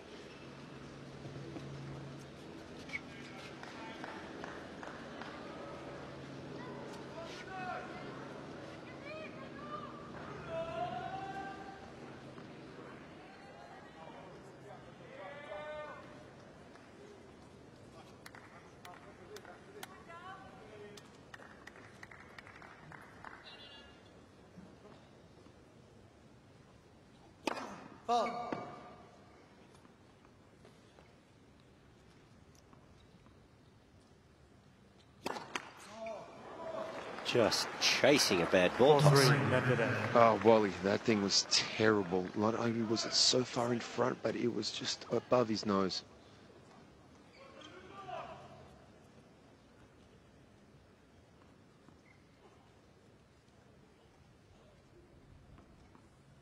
Anything that far out in front, you just can't cover it with spin. The net beckons.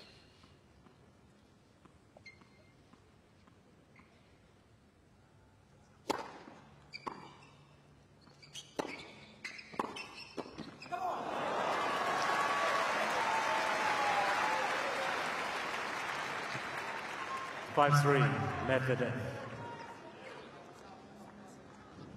I mean, the right play, guys, but just didn't do enough with his short ball. You know, too much in the middle of the court. And uh, that pace was just too much for him. Medvedev really accelerated through that one.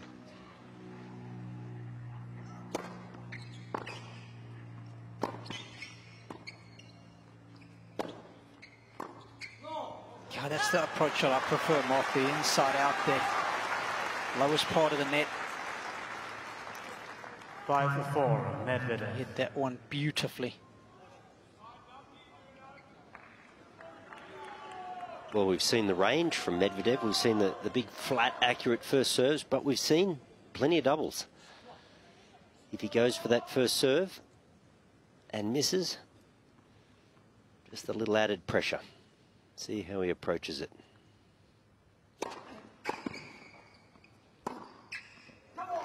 There it is, 198, flat down the tee, Six four, Medvedev. backs himself.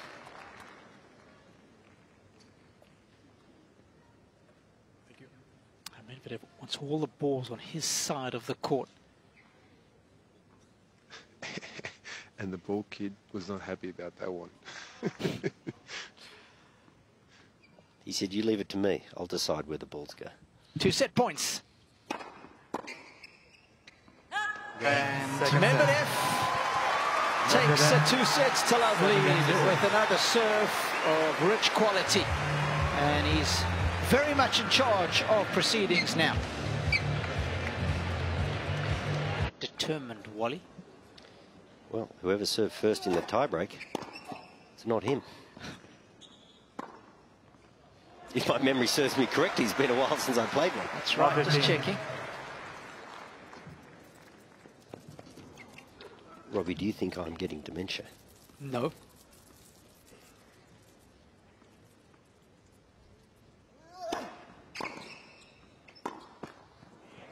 Just a reminder, the winner of this oh, match will take either Arthur Cazaux or Hubi Hurkacz.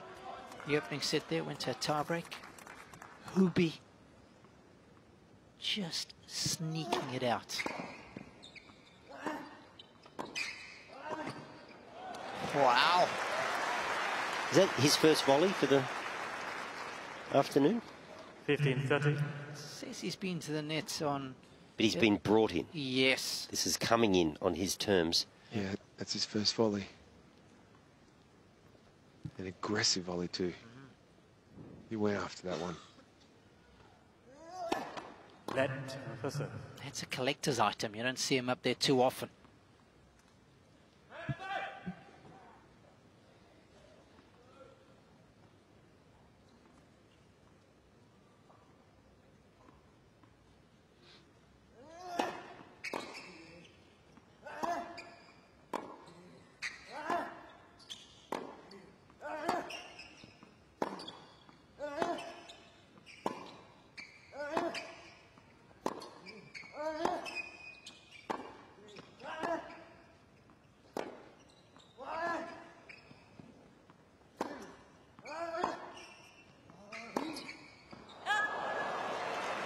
Physical.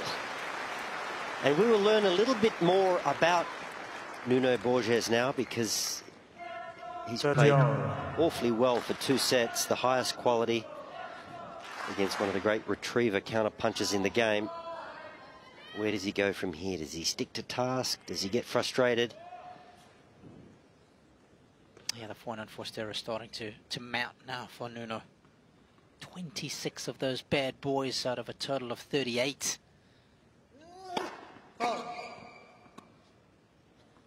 It's an onerous comparison against, though, with Medvedev, isn't it? Because Medvedev's not trying to make things happen necessarily.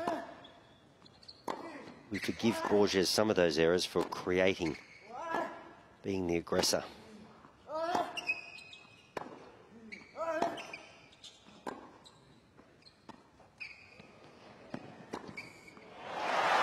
Robbie, if I'm helping a player, yes, I don't mind if they make an error if there's a reward.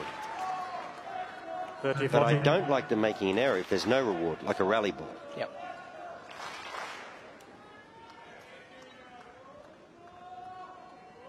And you would say that Borges had made some errors on that forehand, looking for a reward. The reward Yes. was there, he just didn't execute.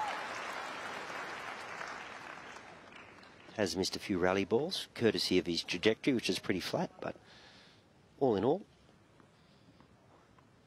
he's given a great account of himself.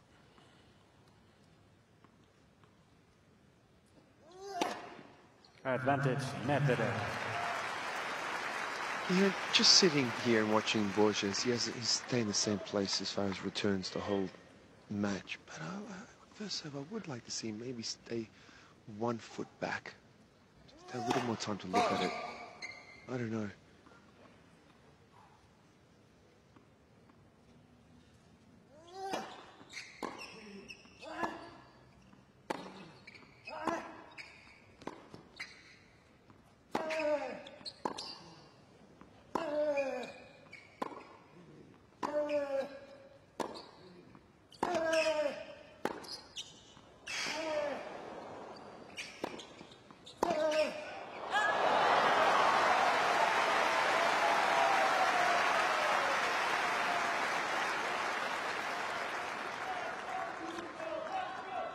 Must be a nice feeling, though, to have the number Yes. three running on the ropes, Yeah. pushing him around.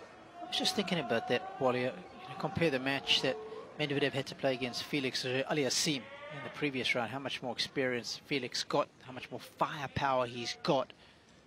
Yet, you get the feeling that this match has been way tougher for Medvedev. Oh, I agree.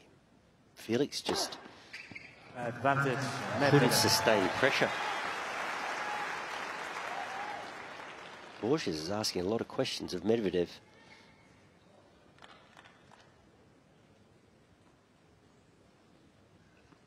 It's interesting, Mark talks about his return position. He, it's such an American hard court stance, isn't it? Yep. Aggressive stance. Not willing to take a backward step.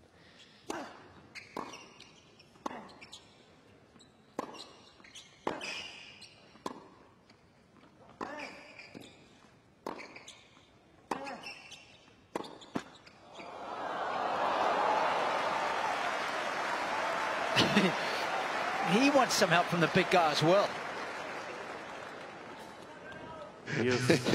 so, I mean, come on, the guy's down two sets to love. You know, it's nice to have a little bit of luck for sure, but I love that reaction from Medvedev.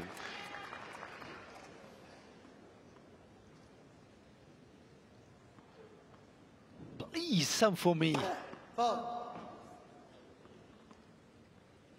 There's a lot going on. The big guy mightn't be paying attention to this match. He is.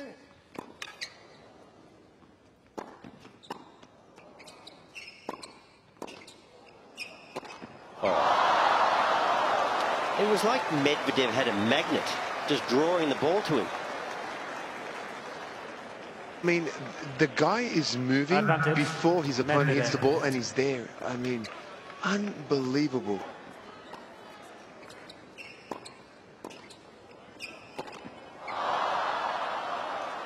Just that ability to put that extra ball in play.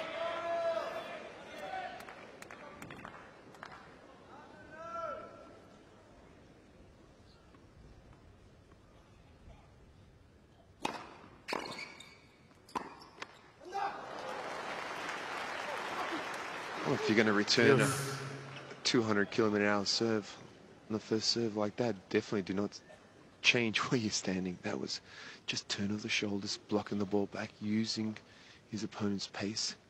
What a great return.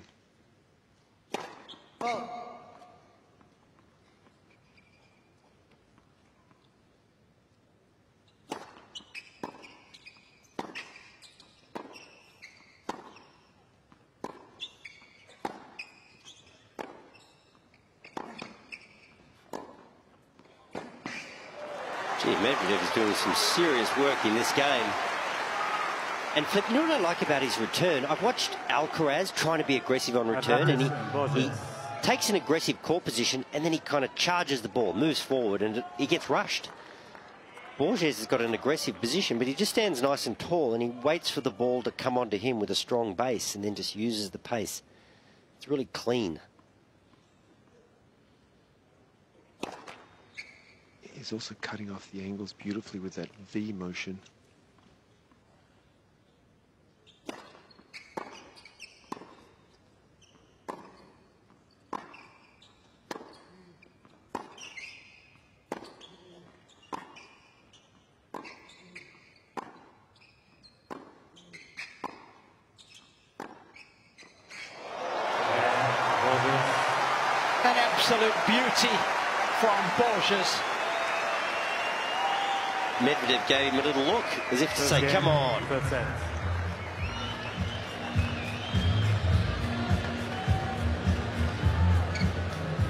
He's just got a subtle flick of the wrist on that backhand. He disguises it so well. Good response after losing the tiebreak. Love that low camera angle. It just gives you a great look at the trajectory, what the players are facing.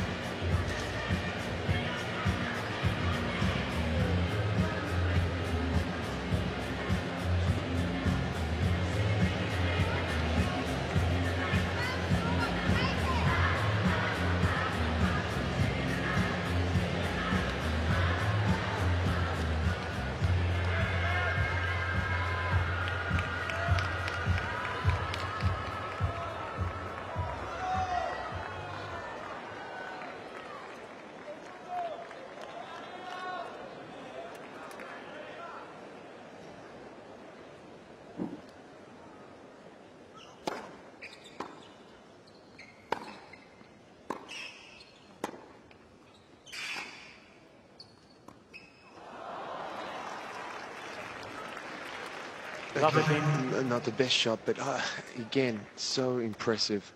Two sets to love down, he goes in, changes. It's so easy to say, okay, I'm playing Medvedev.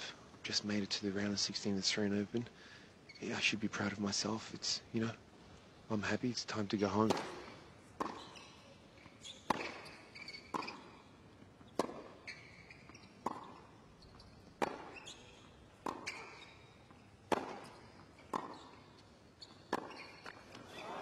you're right, Flip. It's so easy for an emerging player having their first big taste of success to give themselves a little pat on the back. I mean, he would look at the check that Robbie has mentioned already of 375 and be satisfied. There's no disgrace in losing to Medvedev, but he's he's competing. He's striving for the win, no question. And, and what I love, the very first point in the last game, when they've come out, he wins the point, love 15, looks at his box and fist pumps. The very first point he wins. I mean, I love it. Your attitude determines your altitude in life. And this guy's attitude has been wonderful, not only today, but in his previous matches as well. Foul.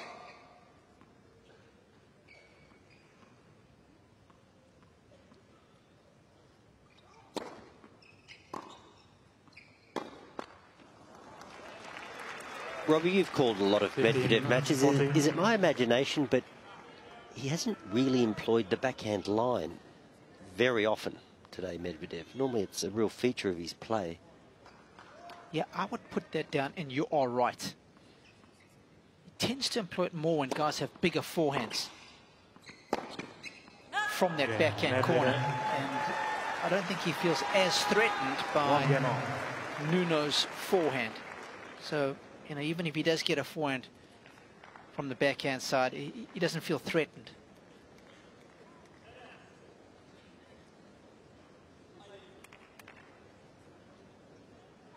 I actually think it wouldn't be a bad a bad play because Nuno to me seems to like to tuck his elbow quite close to the body. Wouldn't mind just seeing him hit a few forehands on the run where he's yes. really got to extend that arm out. Probe there a bit more, especially given the number of unforced errors he's made.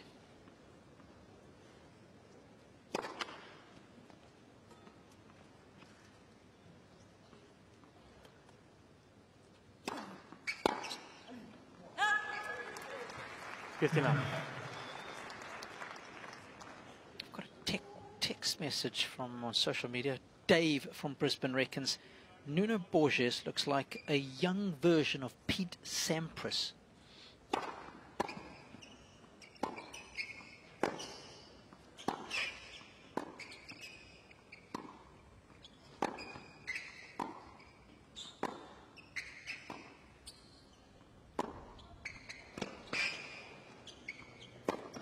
That's beautiful.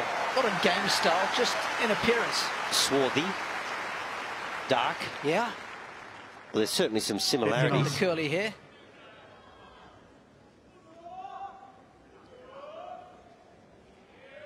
He's got the laser-like focus. Would have liked Pete's forehand. That one wasn't too bad.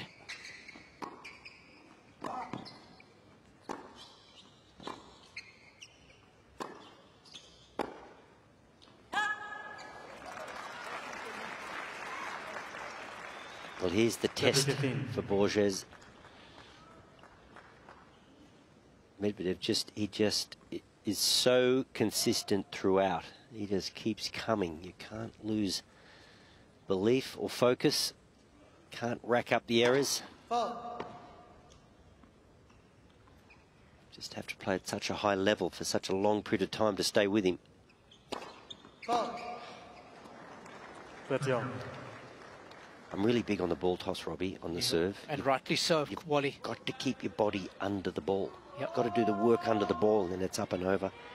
Unless, of course, you're Ivo Karlovic or John Isner, you can pop it down into the court.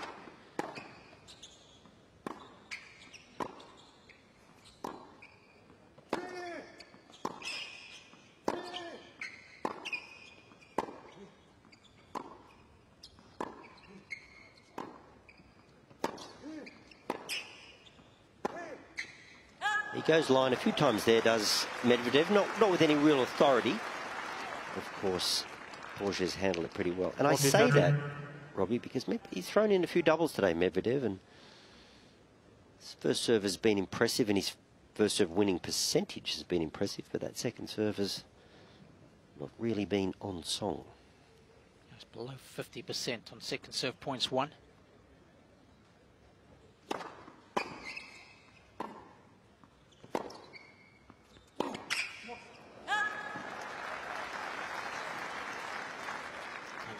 Has done even a better job of going after that second serve of Medvedev in the two service games in this third set. Daniil only two of eight points won behind that second delivery.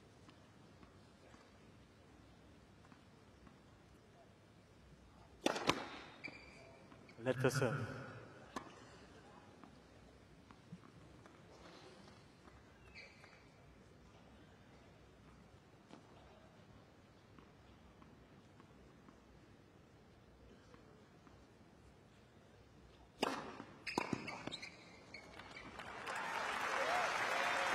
Advantage Medvedev.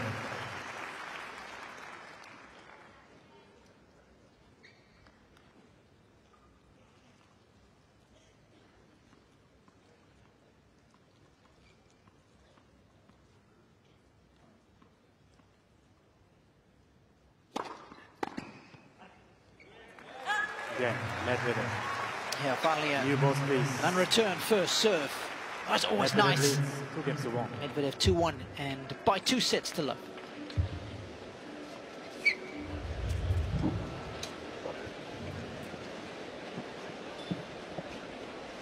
Just saw Borges in the previous game. We'd watch the backhand of Medvedev.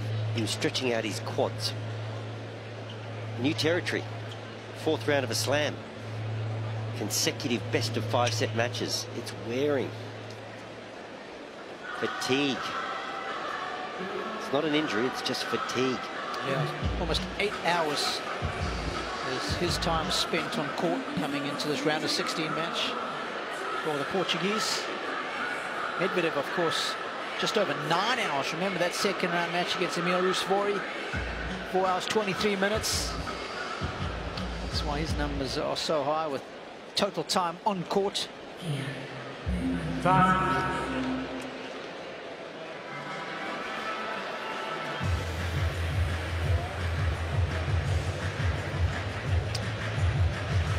Match just over two hours. Been pretty physical. And Mark, from where I'm sitting up here in the commentary booth, I can see your long legs in the sun there. How are you travelling? You've sort of been baking away there for the last couple of hours. You know what? For uh, 10 seconds, I was thinking about wearing pants this morning, and thank God I didn't because I would have been hurting. But look, it, it, it is, it's hot here. It's hot. Like you said, when it gets on the court, whatever temperature, it's like it says it's 21. It did not feel like 21. It's more like 30. This is an incredible physical match, and it's just been impressive of just the points these guys are playing and, and the level that we are at, especially Borges. This is the first real look I'm getting of him, and it's just a pleasure to watch.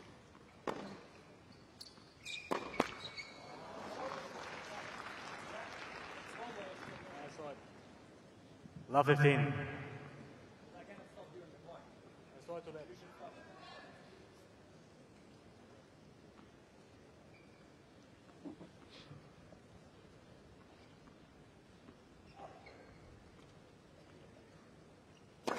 Fault.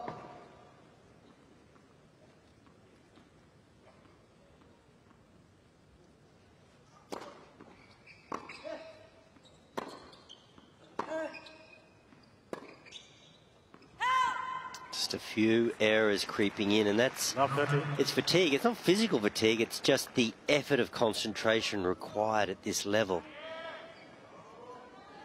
It's not quite where Nuno is at. It's not what he's used to.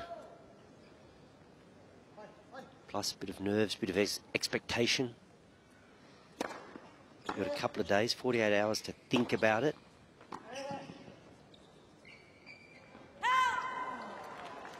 And a big day as well for him because he Fifteen was only the second Portuguese player ever to play a, singles match on one of the main courts at the majors. And Robbie, he press after he beats Davidovich Fokina, Fokina, and Yep. then he beats Medvedev. There's int- excuse me, uh, Dimitrov. Dimitrov. There's interest. yep.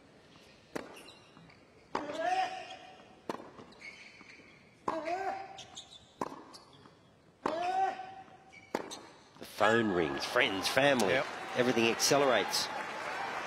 Uh, João Sousa, the other one, in case you were wondering. I think he played Nadal's centre court at Wimbledon, round of 16 there. Big day. He's He's given a good account of himself, no question about it. He's in a spot of bother here at 1540. Two break points.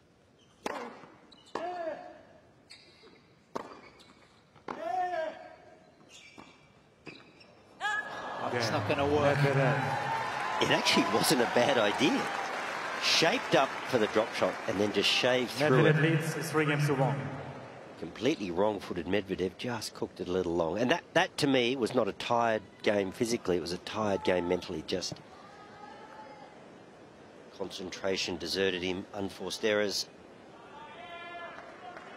And Medvedev doesn't need much of an invitation, does he? No. Jumps all over you. Net for serve.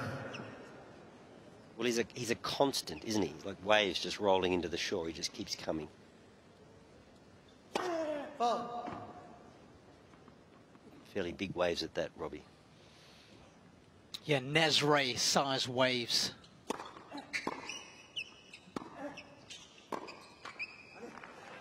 Interesting, Robbie, uh, because where is that wave? Which country is that in? Well, that's exactly why I used it, right? That's right. You know that, Mark. Yes, I know. I know. I just want to make sure that you know. And you know Wally that, knows. You know that I know that you know that I know. Yeah. Great documentary on that particular break. Yeah, the 100 foot wave. Watched it on the plane home. It is phenomenal. Yeah. Great surfing spots of the world in Portugal. Nazare. And that's one of the great backhands. Very, very short. So adept at taking the pace of the serve on this backhand wing. Look at that. That look at the racket travel, six, eight inches. If you get the timing right, it doesn't have to be an extravagant swing.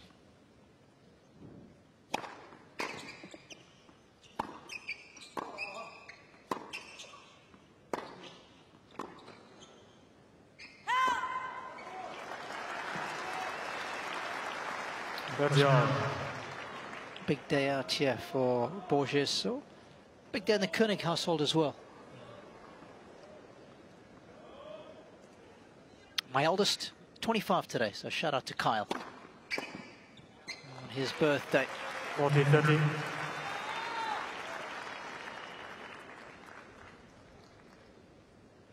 What a wonderful job Giselle has done in raising that young man. You know it.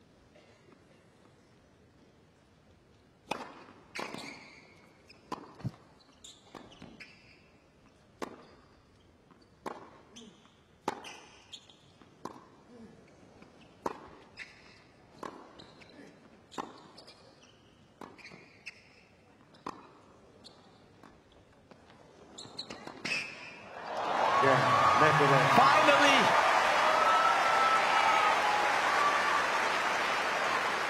It's been a good contest, but Medvedev just starting Medvedev to weave his magic. He leads 4-1 in the third.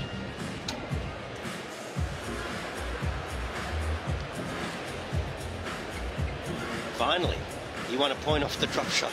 it was more of a short slice, wasn't it? Yeah, I love it. So we see here, this has been so effective for him, but he's behind the baseline, so it's, it's more of a short slice, dragging Medvedev forward, but he's too quick. Be fooled by that. The drop shot has been more effective, a lot of left hand. Just watch the left hand of Medvedev. So he's got big separation. Just gets that left hand, hooks it around the ball. Here's the short slice. It's almost like a lefty forehand, isn't it? Yes. Time. Of course, we were speaking of Maria Sharapova a little earlier. I used to watch her warm up hitting backhands in inverted commas with that lefty forehand grip. It's a very natural feeling for the double handers.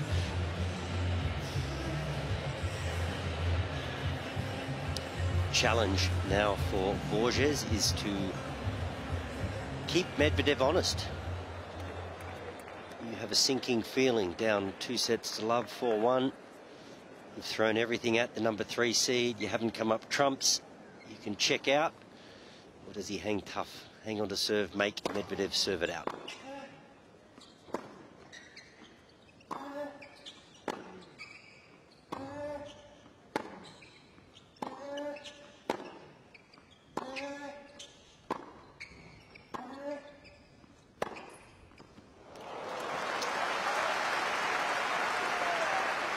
Great comment from I sat down with Guillermo Vilas one day, Robbie. Yes. And uh, he was the Nadal of his day. Yes. He was the bull. And he said to me, you know, when you play tennis, because there's no time limit, you haven't won until your opponent knows he's lost. So in other words, you've got to squeeze the life out of him. Absolutely. Suck the belief out of him. Line. And the best players will do that. Want to ask a question to both of you guys after this point regarding Medvedev.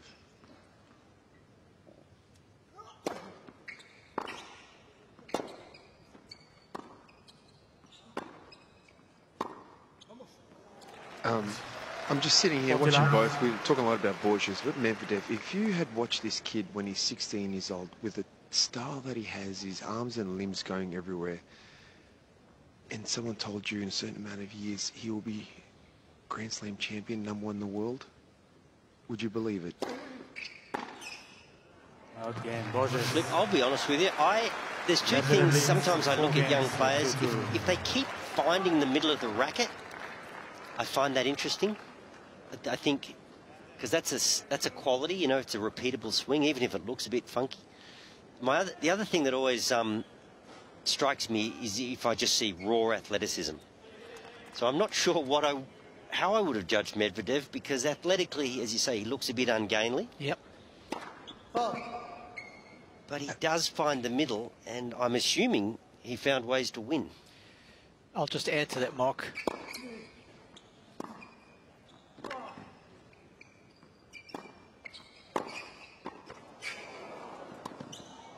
That's nicely done.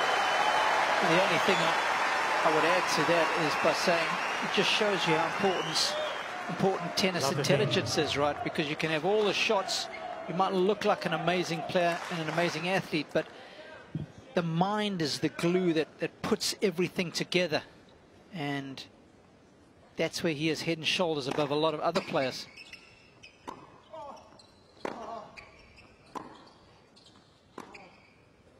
And sometimes, Mark,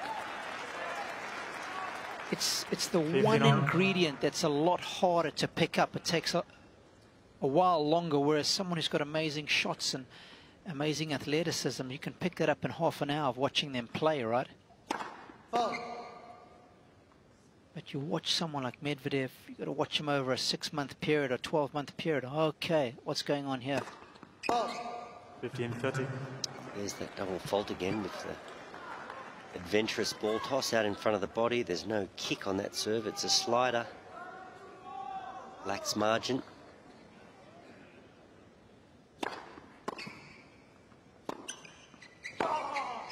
But Mark, it's interesting, you know, you, you get your surefire things, you know, you see young players and you know they can't miss, but there are some players that will emerge and you think, wow, okay, I didn't quite see that coming. But but when you play them, you go, I get it.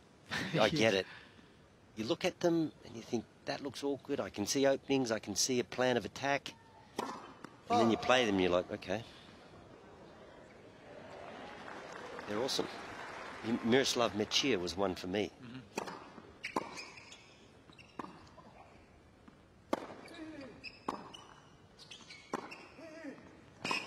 That's a great backhand line. He looked a little sleepy. Serve looked a little dodgy. And then when you played him, you were like, oh Twenty, my goodness. That was awkward.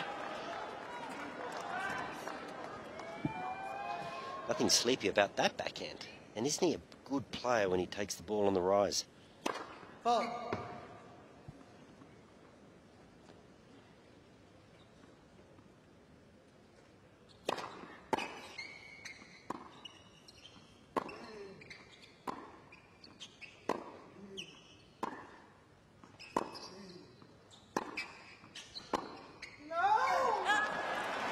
I mean, that, that point right there, that I mean, two of the biggest things for me watching this Yes. close up versus Medvedev is his mentality, his strength, and his physicality. I mean, yeah, six foot six, he moves ridiculous for six foot six, but it's like, you know, he recovers, he plays 30 shot rallies, he gets the towel, he doesn't, you know, goes to the next one.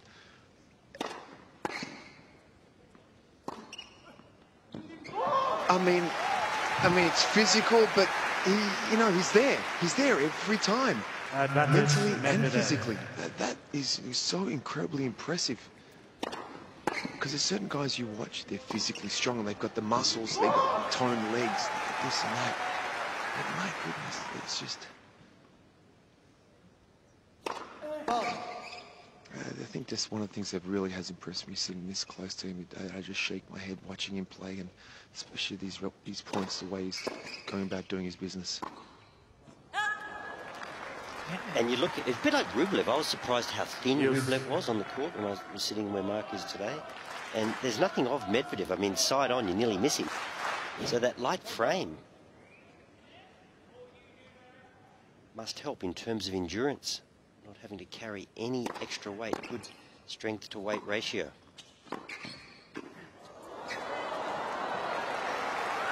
Well, he's just a little frustrated here. He sort of wants this to be over, thinks it should be over. But he showed Borges a lot of respect in those first two sets, and that's what he has to do here. He's fired a few big second serves here, almost dismissively, like, let's get this over and done with. But he's just, he's got to stick to task.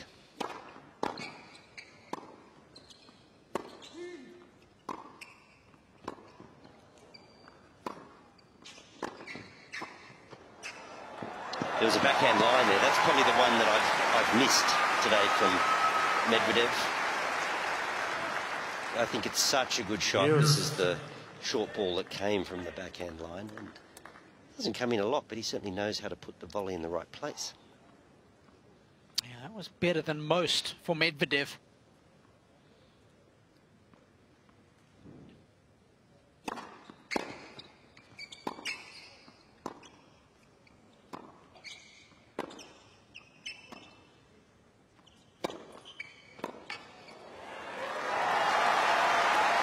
Well, Medvedev had a couple of short balls, did nothing. Borges showed him the way forward. My goodness, did he step in and rifle that? And that, that was acceleration from underneath the height of the net. That was not easy.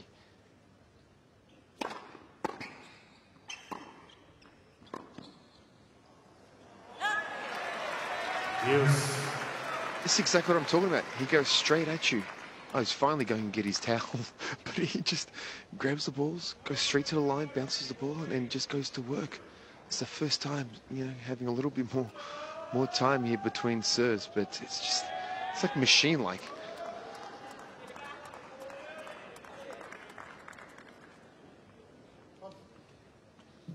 So he's used the full time allotment here. Two seconds to go.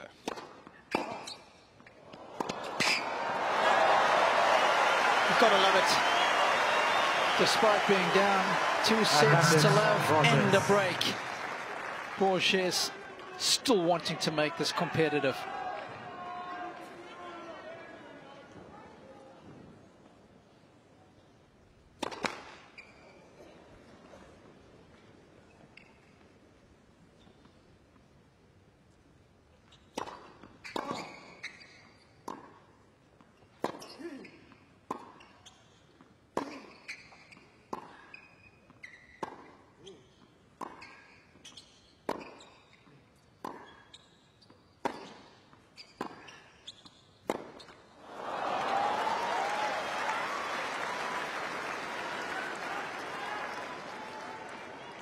Use.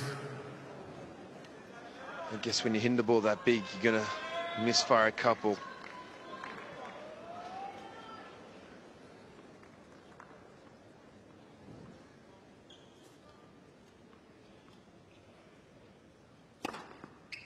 Advantage, Medvedev.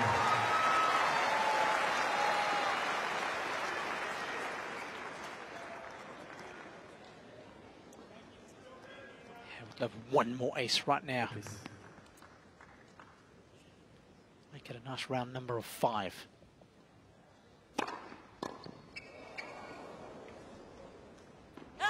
Again, Medvedev. As good as.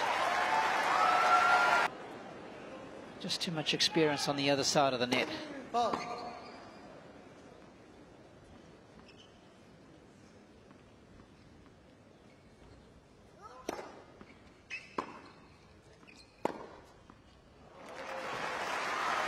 Fault. 59.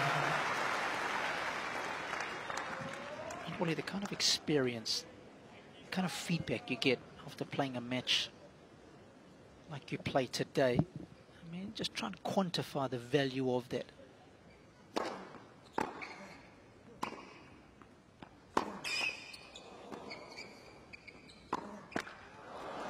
Well, I, I think the big thing, Robbie, the encouraging thing is that Borges would feel that his game style is relevant. He's got the weapons, he's got the tactical nous. Yes. He's got the skill set to be really competitive, obviously, against a guy as good as Medvedev. Probably what he might have learnt, or what he is learning as we speak, is just the level and the duration 49. of the level that you have to maintain in Grand Slam tennis against these very best players.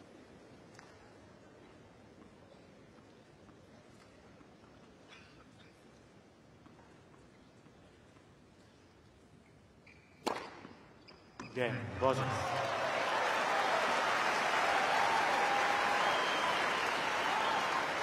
Medvedev leads five games to three. And not just talking about the, the physical level, but the, the level of concentration that you have to maintain.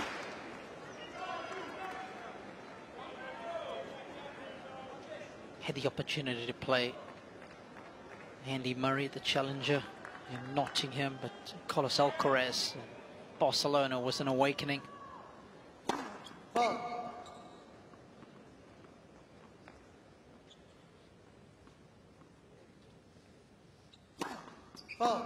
There it is again. Lovely thing. Ball out in front, the slider. You know, I think the other thing, Robbie, that's really good when you, when you start to play at this level, and you start to play the bigger tournaments, you start to practice with the better guys on a more regular basis, and the more you practice with them, the less mystery there is around them. You start to go, hang on a minute, it's good, but that's bad luck. 15 on. Close call. We could look at that. He's not sure. Didn't ask the question, just asked the question of his coaching corner.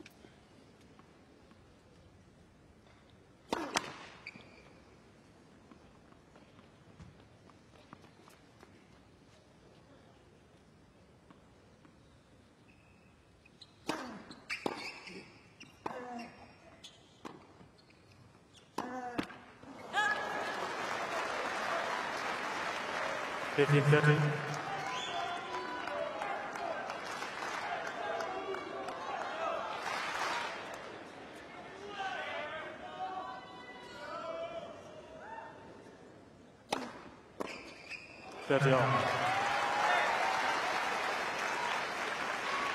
Again, that, that, first serve, I know, Wally, we speak about the ball toss being so important, and he does get in front, but he finds a way because at the end of the day, he is six foot six.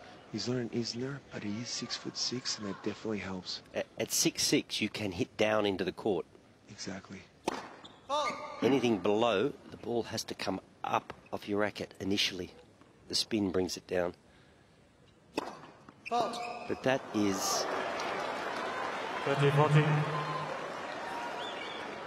an interesting trajectory for a second serve. Much shape.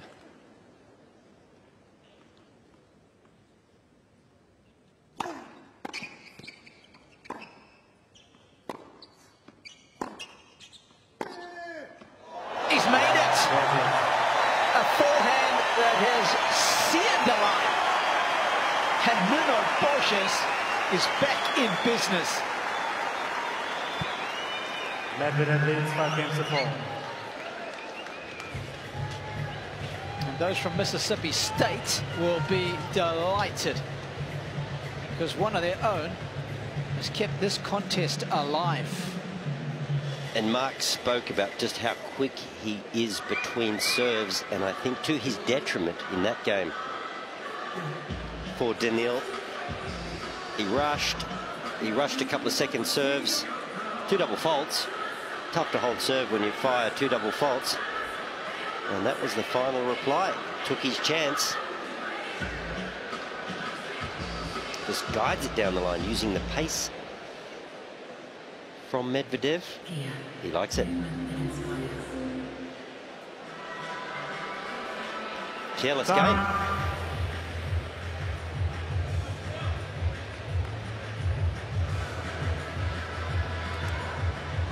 Well, Nuno Borges certainly has given a fantastic account of himself. Two and a half hours now. He has been going at it, hammering tongs with Daniil Medvedev. Medvedev just served for the match, broken. But Borges is not out of the woods yet.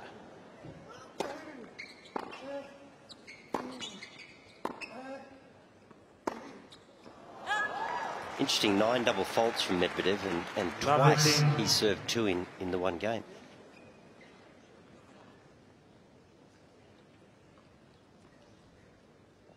You don't see that too often on tour.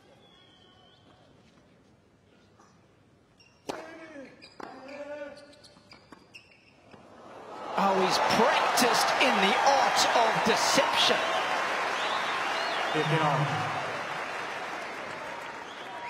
Well, Robbie, you just knew that he would make the connection, didn't you?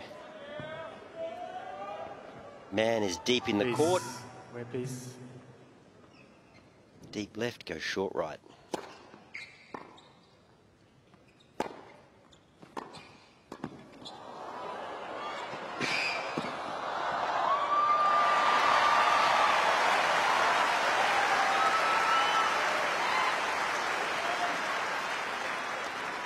Fifteen thirty. Great pass. The best passes are down the line. Got it right on that occasion, did Medvedev. Stinging pass from well behind the baseline.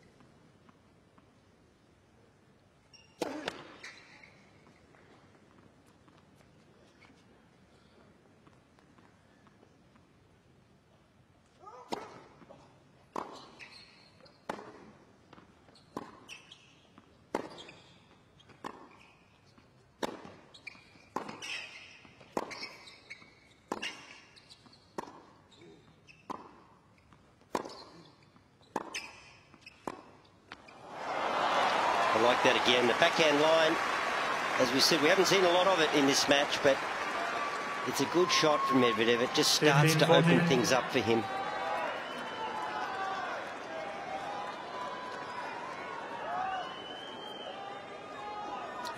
Medvedev has arrived at match point, and he's got two of them.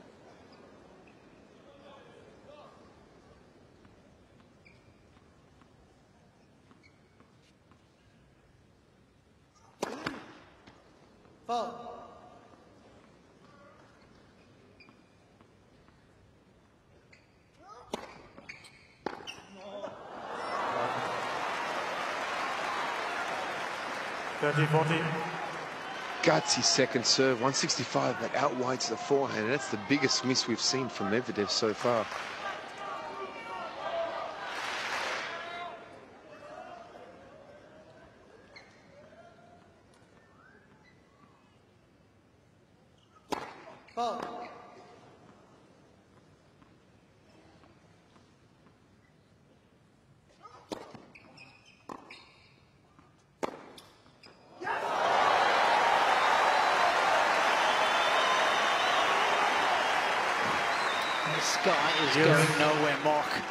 Well, boys, that second serve was at 149 and that forehand was at 179, I'm pretty sure.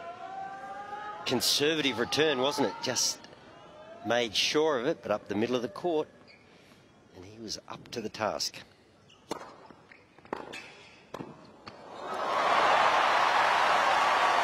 Keeping the dream alive with some good old school S&V. Advantage Borges. I tell you what, I- Uh, I'm sure I'm not the only one smiling, but I cannot help but smile when I see a play like that. I'm sure you are too, Wally. Behind the baseline? Well, it's you don't see it a lot, Mark, and there's value to be had if you get it right. Again, And this contest is still very much alive. Well, I'll go back to the two double faults in the in the previous game when he served for it. He was just a little quick. I think in his mind it was all over. Medvedev. He rushed. He was awfully quick between serves in that previous game. Two double faults. I mean, two ambitious second serves, no margin. And Borges, he believes he's he's not a guy that's going to beat himself. That second serve. Please.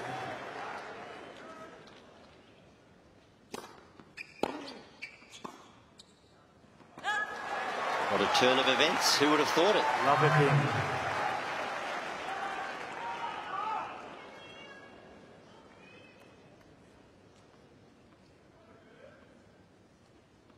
Momentum shift. That's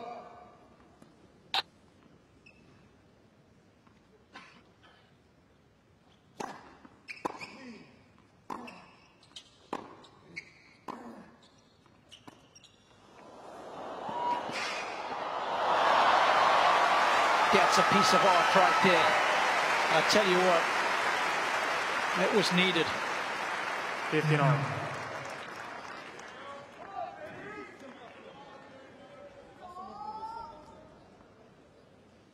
Goes to the drop shot again. This one not as well disguised. Medvedev there in plenty of time to create.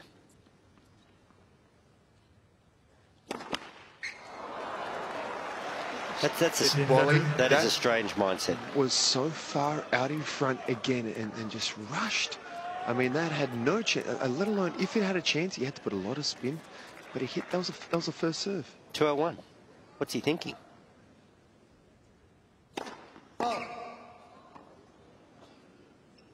This is a very strange mindset for Medvedev to close this one out. Wow. He's just lost it. 15 14. I mean, I understand that he likes to, he's not that guy to take his time and go to the towel every single point. But my goodness, has, is he rushing right now?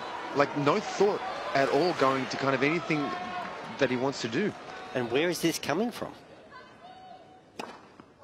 30 40. Where is this coming from? The, the scoreboard was in his favour. Two sets to love, a break.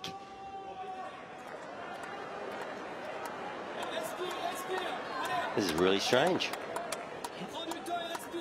And it's the kind of occasion where sometimes this, this red mist can just descend on Daniil. He needs to keep it together here because he's, he's boiling. Oh,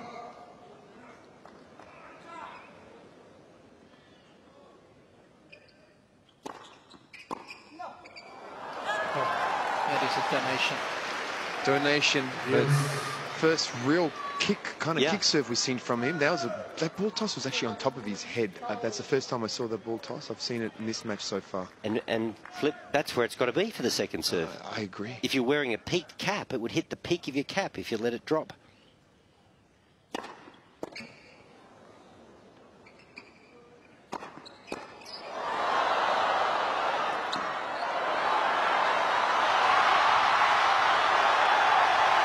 Can you believe it? Wow. Daylight lobbery from that man. Advantage. Borges.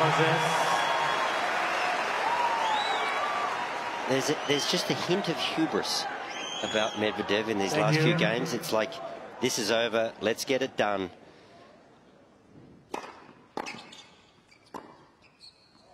Then Unbelievable. Nuno is loving the fight. games to five. And he'll come out to serve for the third set after being down 2-5. But Robbie, I'm just trying to think, what, what has Nuno done in the last three games? He played some big points to save match points.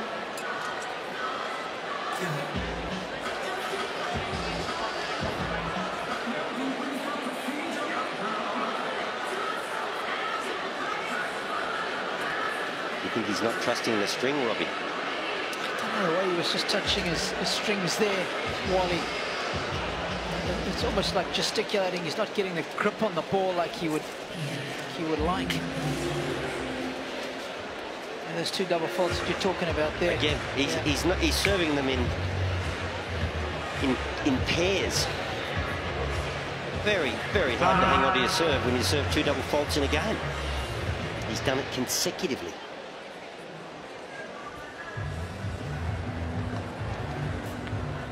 You know, but Wally, two of them couldn't have been so different. Like the first one was an absolute, that was a, a second, s- a se- a first serve for a second serve, low, too far in front, and so flat. And the, the second one was he guided. I mean, he didn't even accelerate at all. Missed it by almost two meters. One of, one of the that second serve that you suggested, you know, he, he served it at 201, a 201 kilometre hour second Thank serve. you. What a what a turn of events! He had this match in his palm.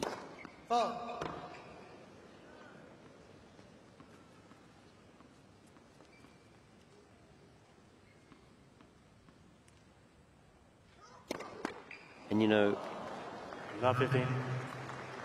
the tournament only gets tougher from here. You do assume, as fit as he is, and as good as he is, you want to get through somewhat unscathed physically. You don't want four and five set matches, surely, if it can be avoided. How good has the top shot been? 15 all. Mm-hmm. Kind of makes sense when someone's playing in the shade. I mean, still to have the nerves just to pull him off the way he's doing right now, very impressive. Foul.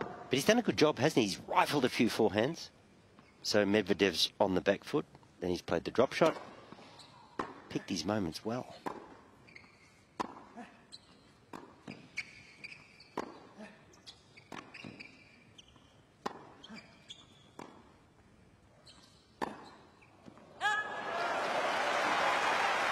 And now he just spoons him no pace. 30 15. Borges is cunning.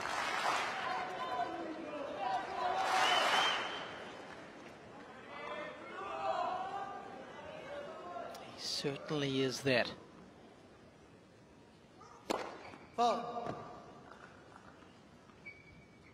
Wait, please. Oh,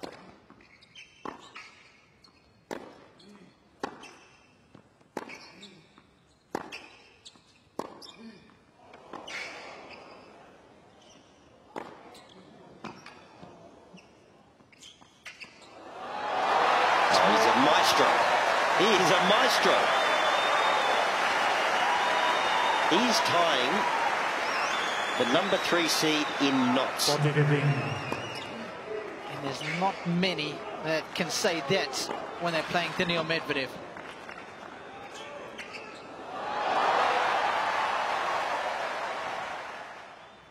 Two set points. Game. What a comeback from 2-5 down. Seven games to come. He reels off five games in a row. And Borges is back in business.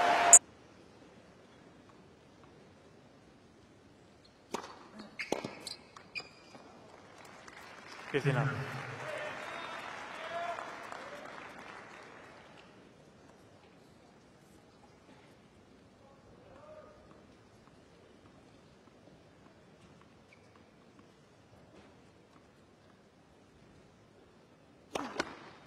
Foul.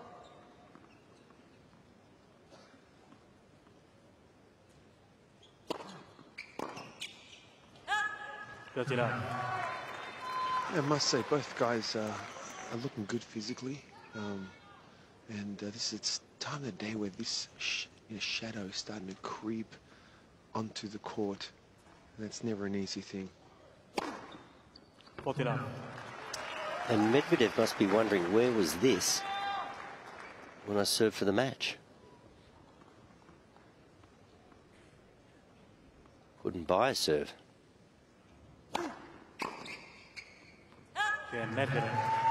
First game You know, for Wally, right now he's against the wind, and the ball, you know, that ball toss is, is coming back a little bit, which ends up being almost like a perfect ball toss for him. On the other side, is with the wind, and he's putting that ball toss up, and the, you know, even if it's a little bit forward, but that wind is dragging it way forward and low on that second serve, which wasn't helping. Mark, I've got a question for you here. I, I want to know, in a match like this, okay, so if you're Daniil Medvedev, you, have a chance to put it away in straight sets, but you don't. Now you take the scenic route. But let's say he does go on to win and he plays either you know, Hurkacz or Cazaux in the next round. How much does a, a match like today take away from your, your mental strength when you're playing in the quarterfinals or perhaps even a semi-finals later on in the tournament, knowing that you were brittle when it came to closing out the match? Or does it not? Well, you're asking me this question towards Medvedev. Yes. And as if there's one thing that I told you that, that blows me away is his mindset uh, and, and, and how incredible he is to put things away quickly. And and we've we've seen him in this position before. I mean, there are not too many matches where he's had it in the palm of his hand like this, but he has lost focus and rushed. Yep. You know, and he just gets straight back to work. And that's the important part. That's what you're telling me. It's how you respond to it, right? 100%. But that's it. That's one of his biggest weapons, in my opinion.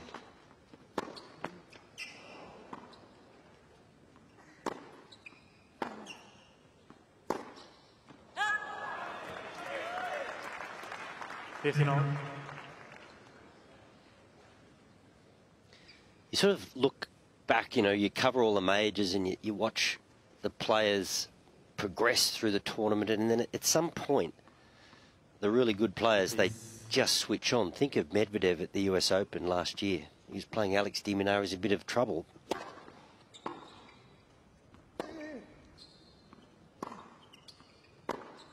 Something clicked, and he just went on a roll against Alex, and then a roll against Alcaraz, and he was just unplayable until he ran into Novak in the final you know, you sort of think for, for Medvedev, talking about him as being a title chance, obviously as number three seed, oh. this is probably not the performance you're looking for in the fourth round.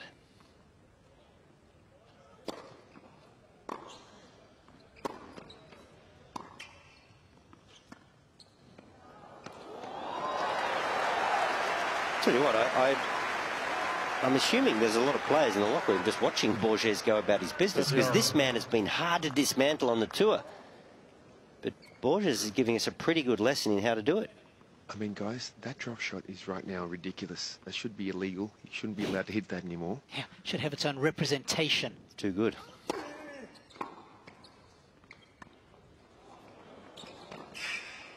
He read that one, didn't he? But he's done a nice job of ripping the forehand, playing the drop shot, ripping the forehand, playing the drop shot. So he's kept him off balance as a rule. Of course, in Rome last year it was Fabian Marozsan who mesmerized us with the quality of some of his drop shots. Went on to beat Carlos Alcaraz there, one of the biggest upsets of 2023.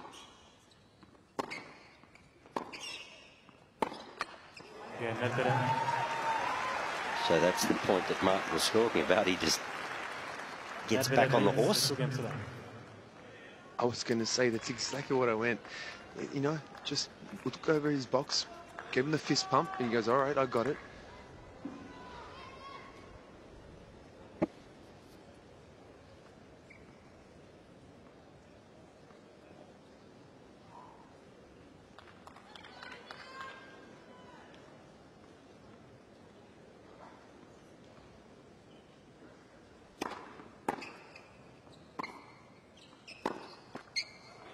59. Just starting to see a little bit more of that. Early in the piece, just thumping the backhand line.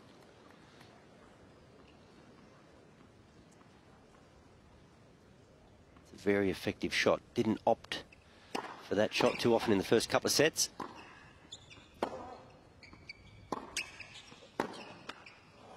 Just started to pepper the forehand wing. 39. 40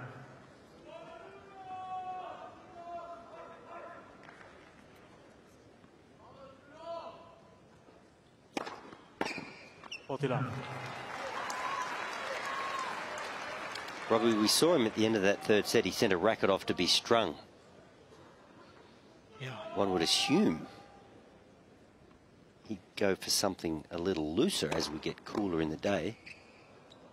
Potentially. Again, Medvedev. Medvedev leads against the line. Well, he's halfway to winning this fourth set. Set three love.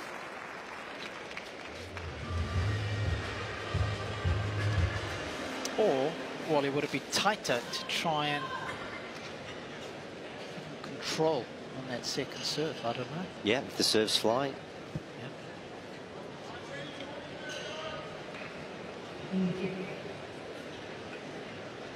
Sliders, my butter.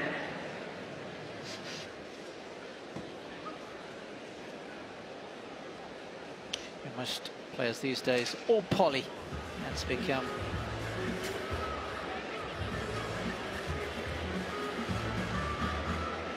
Is that a pretty tight string pattern? Standard? it's pretty tight. That looks all poly to me. Yeah, of course, the poly strings, the looser the better, right?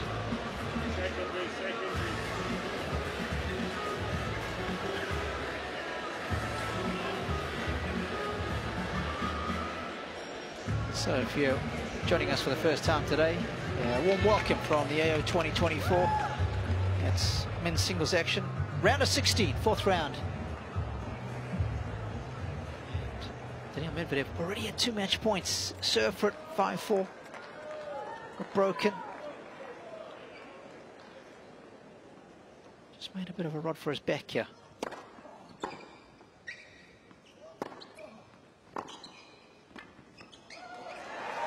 Is the bottom half of the men's draw. I can tell you in the top half, Novak Djokovic will take on Taylor Fritz and Jannik Sinner will do battle with Andrei Rublev in the top section.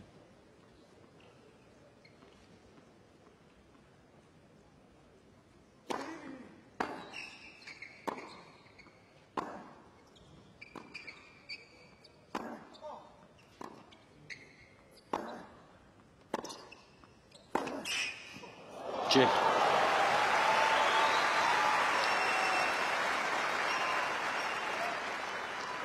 There's the octopus arms that Rublev speaks of. There's a fine shot from Borges. You think he's in trouble. Those long limbs and those long strides. He arrives very balanced at contact.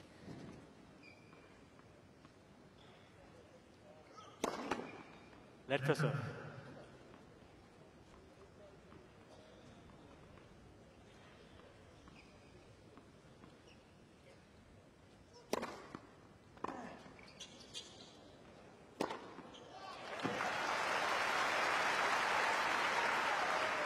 I mean, look, guys, it is three love, but it is only one break, and he was down that in the third set. So you know, focus here and hold serve, and uh, just keep doing what he's doing, right? And hopefully that uh, he's hoping for Medvedev just to go walkabouts again.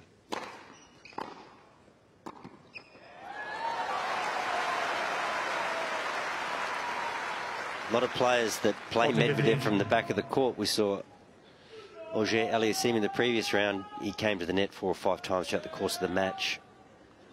Can't beat him from the back, but Borges, Borges is showing us that if you know how to get to the Yeah, net Borges. and you know how to volley, there are some Medvedev serious wins three games to gains to be had against Medvedev. What is his? Just going to have a little look here at net points one. Let's not forget about that drop shot. 38 of 49 net points won. Against Medvedev, that's a fantastic stat. That's a good percentage, isn't it?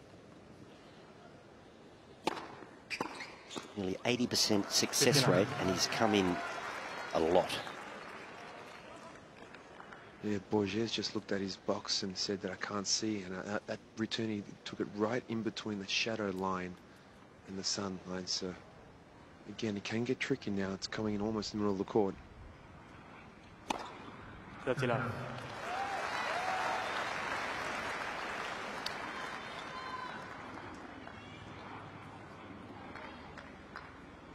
That shadow line should just about reach you, Mark, as the match finishes. Get some relief.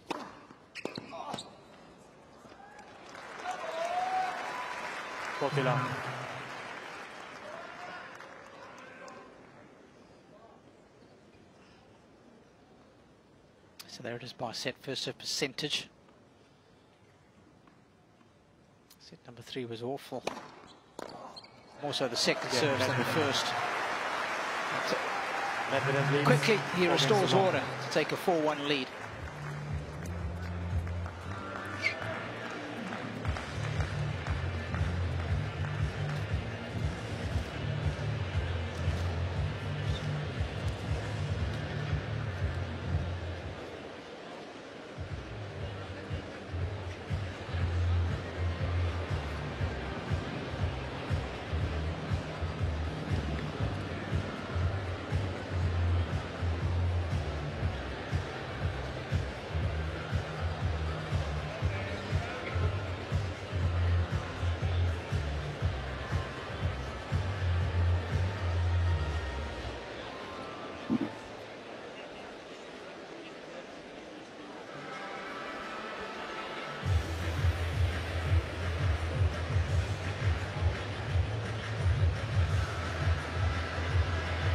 Time.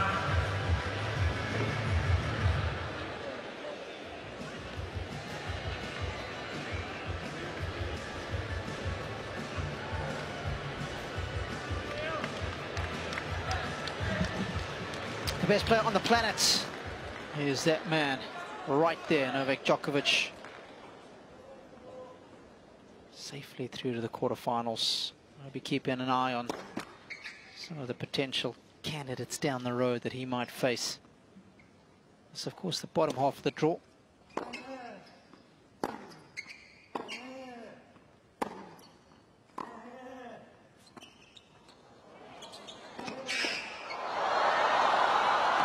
Oh, he had as well.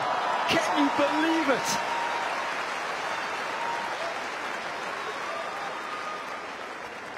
Novak looked a little more playful today. He's been a bit cranky throughout the course of this tournament.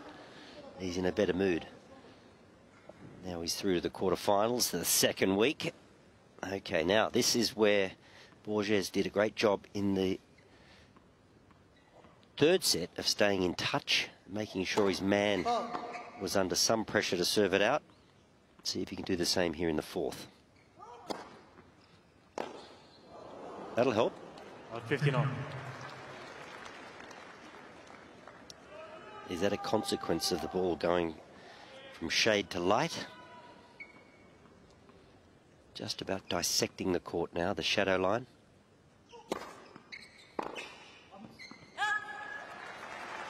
Thirty fifteen. Important game. Exactly what took place in the third. Doesn't look pretty on the scoreboard 4-1, but it's one break. Daniil fires a couple double faults in a game as he did in the second. Third, sorry, anything is possible.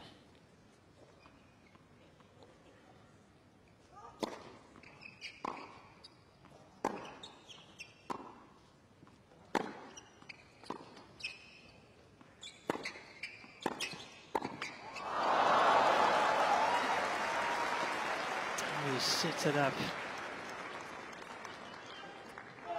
30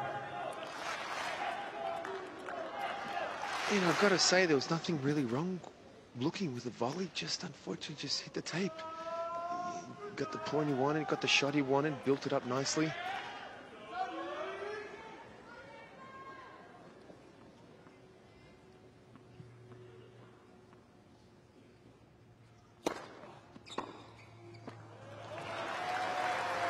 Okay, 30.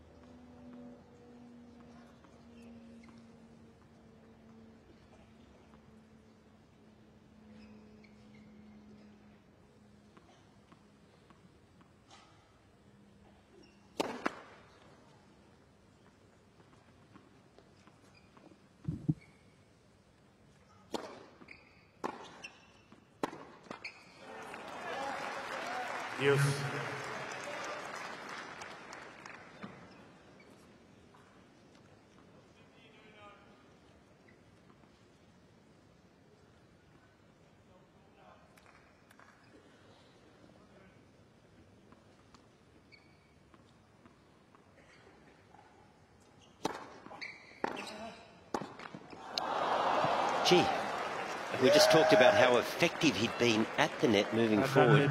And once again, the volley looks good. Flips the tape.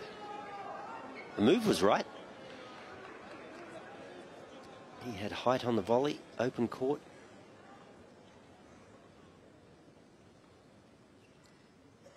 Virtual match point right here, you would suspect. For Medvedev to go up a double break.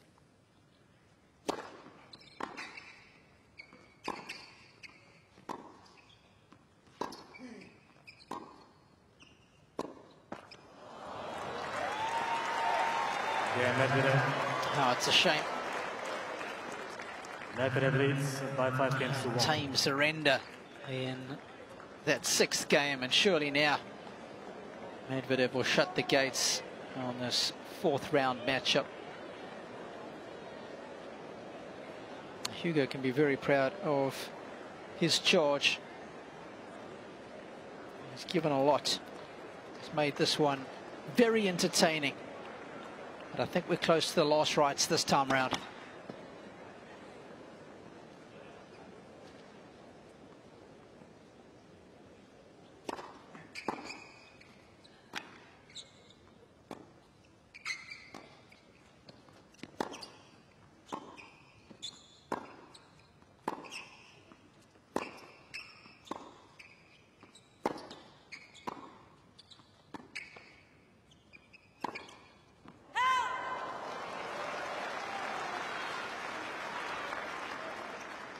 Love 15.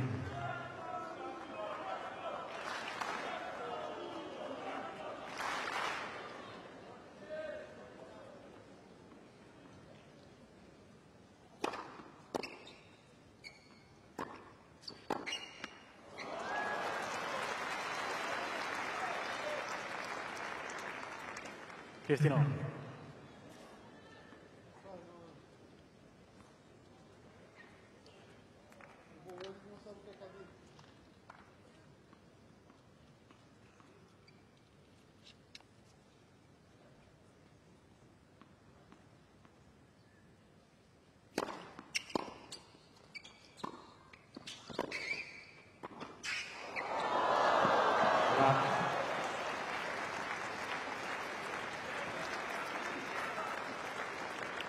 His pleading to the higher powers is finally paying off.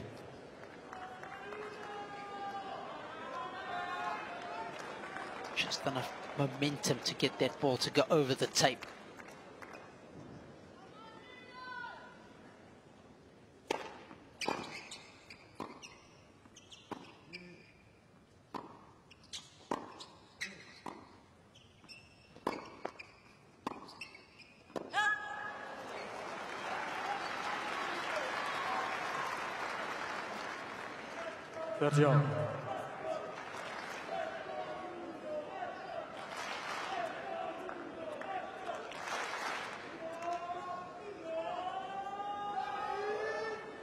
Thank you. Medvedev standing well wide of the centre tee for the first time.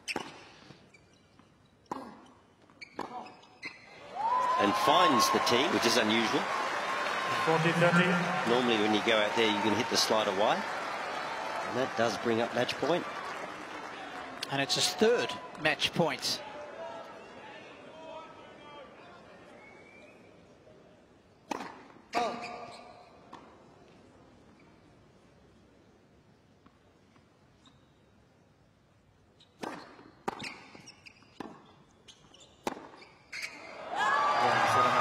Medvedev safely through to the quarterfinals here for the third time. It was a highly entertaining match. Sagacious tennis from Nuno Borges. But ultimately, the tennis intelligence of Daniil Medvedev pays off. He wins in four sets. He takes the scenic route, but he has got to his desired destination. 6-3, 7-6, 5-7, 6-1. And Robbie, a salacious third set. Daniil Medvedev, just when we thought he was building to something here at the Australian Open, there was that little chink in his armour. The serve, just not where it needed to be. Seemed to have the measure of Nuno Borges throughout the course of the match. But of course we judge Daniil to very high standards. Twice a finalist here at the Australian Open. He receives warm applause, Borges, as he should. What a run he's had here at Melbourne Park, and what a run he had here today. He's never beaten, he has to be beaten. And that, Robbie, will forge you a pretty good career. Yep, when the new rankings come out in a week's time after this Australian Open, he'll be at a career high of around 47 in the world. And it's been a fantastic ride over the last couple of months for him. He tested this guy in many different facets of his game and not many can go toe-to-toe -to -toe with him when it comes to tennis intellect and he certainly did that and then some. And everybody back in Portugal will be very proud of their countryman who has done so very well here. Boy was he exciting to watch. And hopefully that'll encourage more players who see that just to continue to work on their net game, continue to forge forward and improve their game in the forecourt because you can see how effective it can be even against somebody who's as good as from the back of the court as Daniil Medvedev. And I think we are just about ready to have a chat with him. He is with Jim Courier.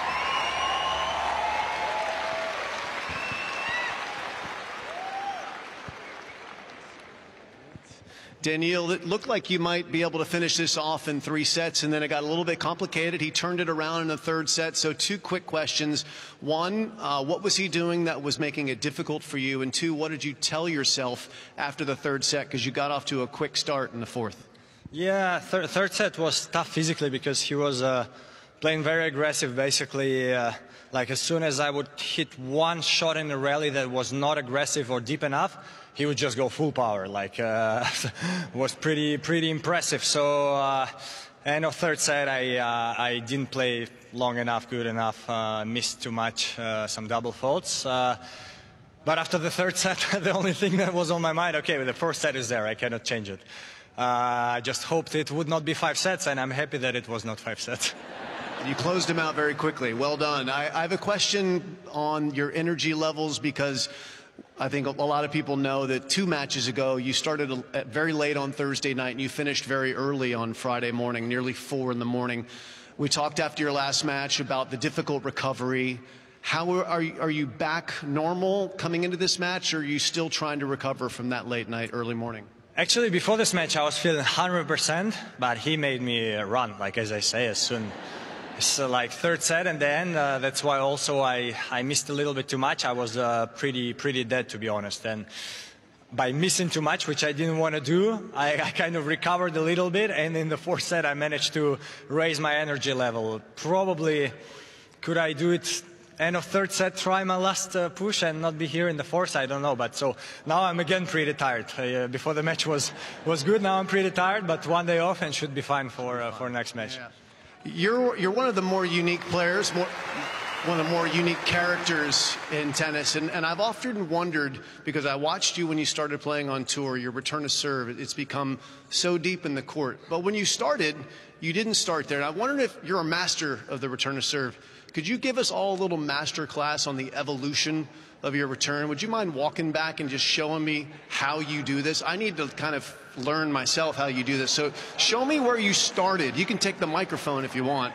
Yeah, I mean, it's uh, the, the, thing is that you called me master of a return, but I don't think so because my return from close, I don't think is that good. Like I can I can do it, but it's not uh, the best. Then you ask Novak or someone else. But uh, yeah, I started here, and then at one moment uh, with uh, with my coach, well, or even by myself you know, I would play uh, some guy that uh, I would come on tour, and then there is uh, Jo-Wilfried Tsonga who is only doing 220, and I'm like, okay, and I lost the match. I remember it pretty easy, no break points, and I was like, maybe should do something different. So next time I played someone who who served uh, big, I would go somewhere here, and then I would play someone who served bigger, and I would go somewhere here. And then at one moment I understood that I can actually play many guys like this because what it makes me do is when I'm on the ball, I kind of don't hit a return. I hit like a normal top spin shot because when the ball comes to me, it's not anymore. It's in the good position and stuff like this. So uh, at one moment, I just understood that uh, that's where uh, my return is the best, um, and I started playing better. All right, that's phenomenal. So you're going back there now. Is is this where you? Uh, you're over there. All right. So so that so a couple questions. I'm fascinated by this. So, God, the net's a long way from here. So, um, one, could someone who's maybe normal size like me defend the court from back here, or do you have to be super tall like you? I, I think you can because the thing is that many serves. I return them by running to them. So when you're close, you just do one step and you kind of block the return. From here, sometimes I do like three, four steps, and I think, uh, to be honest, kind of anyone can do it, but you need uh, practice. And what's good from here, it's very tough to hit it out. Um, yeah, so you can, yeah, yeah, you can uh, hit pretty strong, and uh, many times you're gonna be surprised the way it goes in. You should try. Uh, I should try. I could tell you one thing: at 53 years old, taking four steps is no longer an option, and and I promise you, I can miss from here. But my next question, this is the last one. I don't want to take too much of your time. I'm loving it, but we got to let you rest. How in the world do you get back up for a drop shot from here? This is like 25 meter sprint. Well, th th that's the problem. Nuno was unbelievable on the drop shots today, because I, I always, I always uh, bring this as an uh, example. I remember Alcaraz in Indian Wells. He has one of the best drop shots, if not the best in the game. Mm -hmm. He made like 10 uh, winner drop shots against me in Indian Wells final. So then I come to Miami and I play guys, and suddenly everyone is doing drop shots against me. But if your drop shot is not perfect, I'm going to win the tournament. So I was so happy. The guys were doing drop shots. I was like so good. And today I was not happy that he was doing drop shots because they were really unbelievable, like uh, unbelievable. And uh, yeah, I, I, try to practice it a lot with my physical coach. We basically do many times uh, the, the, the practice where I do a shadow return, like no serve from here, and then I run there, and then I get tired, and then we rest, and uh, then I go to play a match. Well, thank you so much for this masterclass. Was that any good? Is that pretty good? Is this guy any good? Congratulations, Daniil Medvedev. The best interview, and my goodness, his return is amazing. Thanks, Daniel.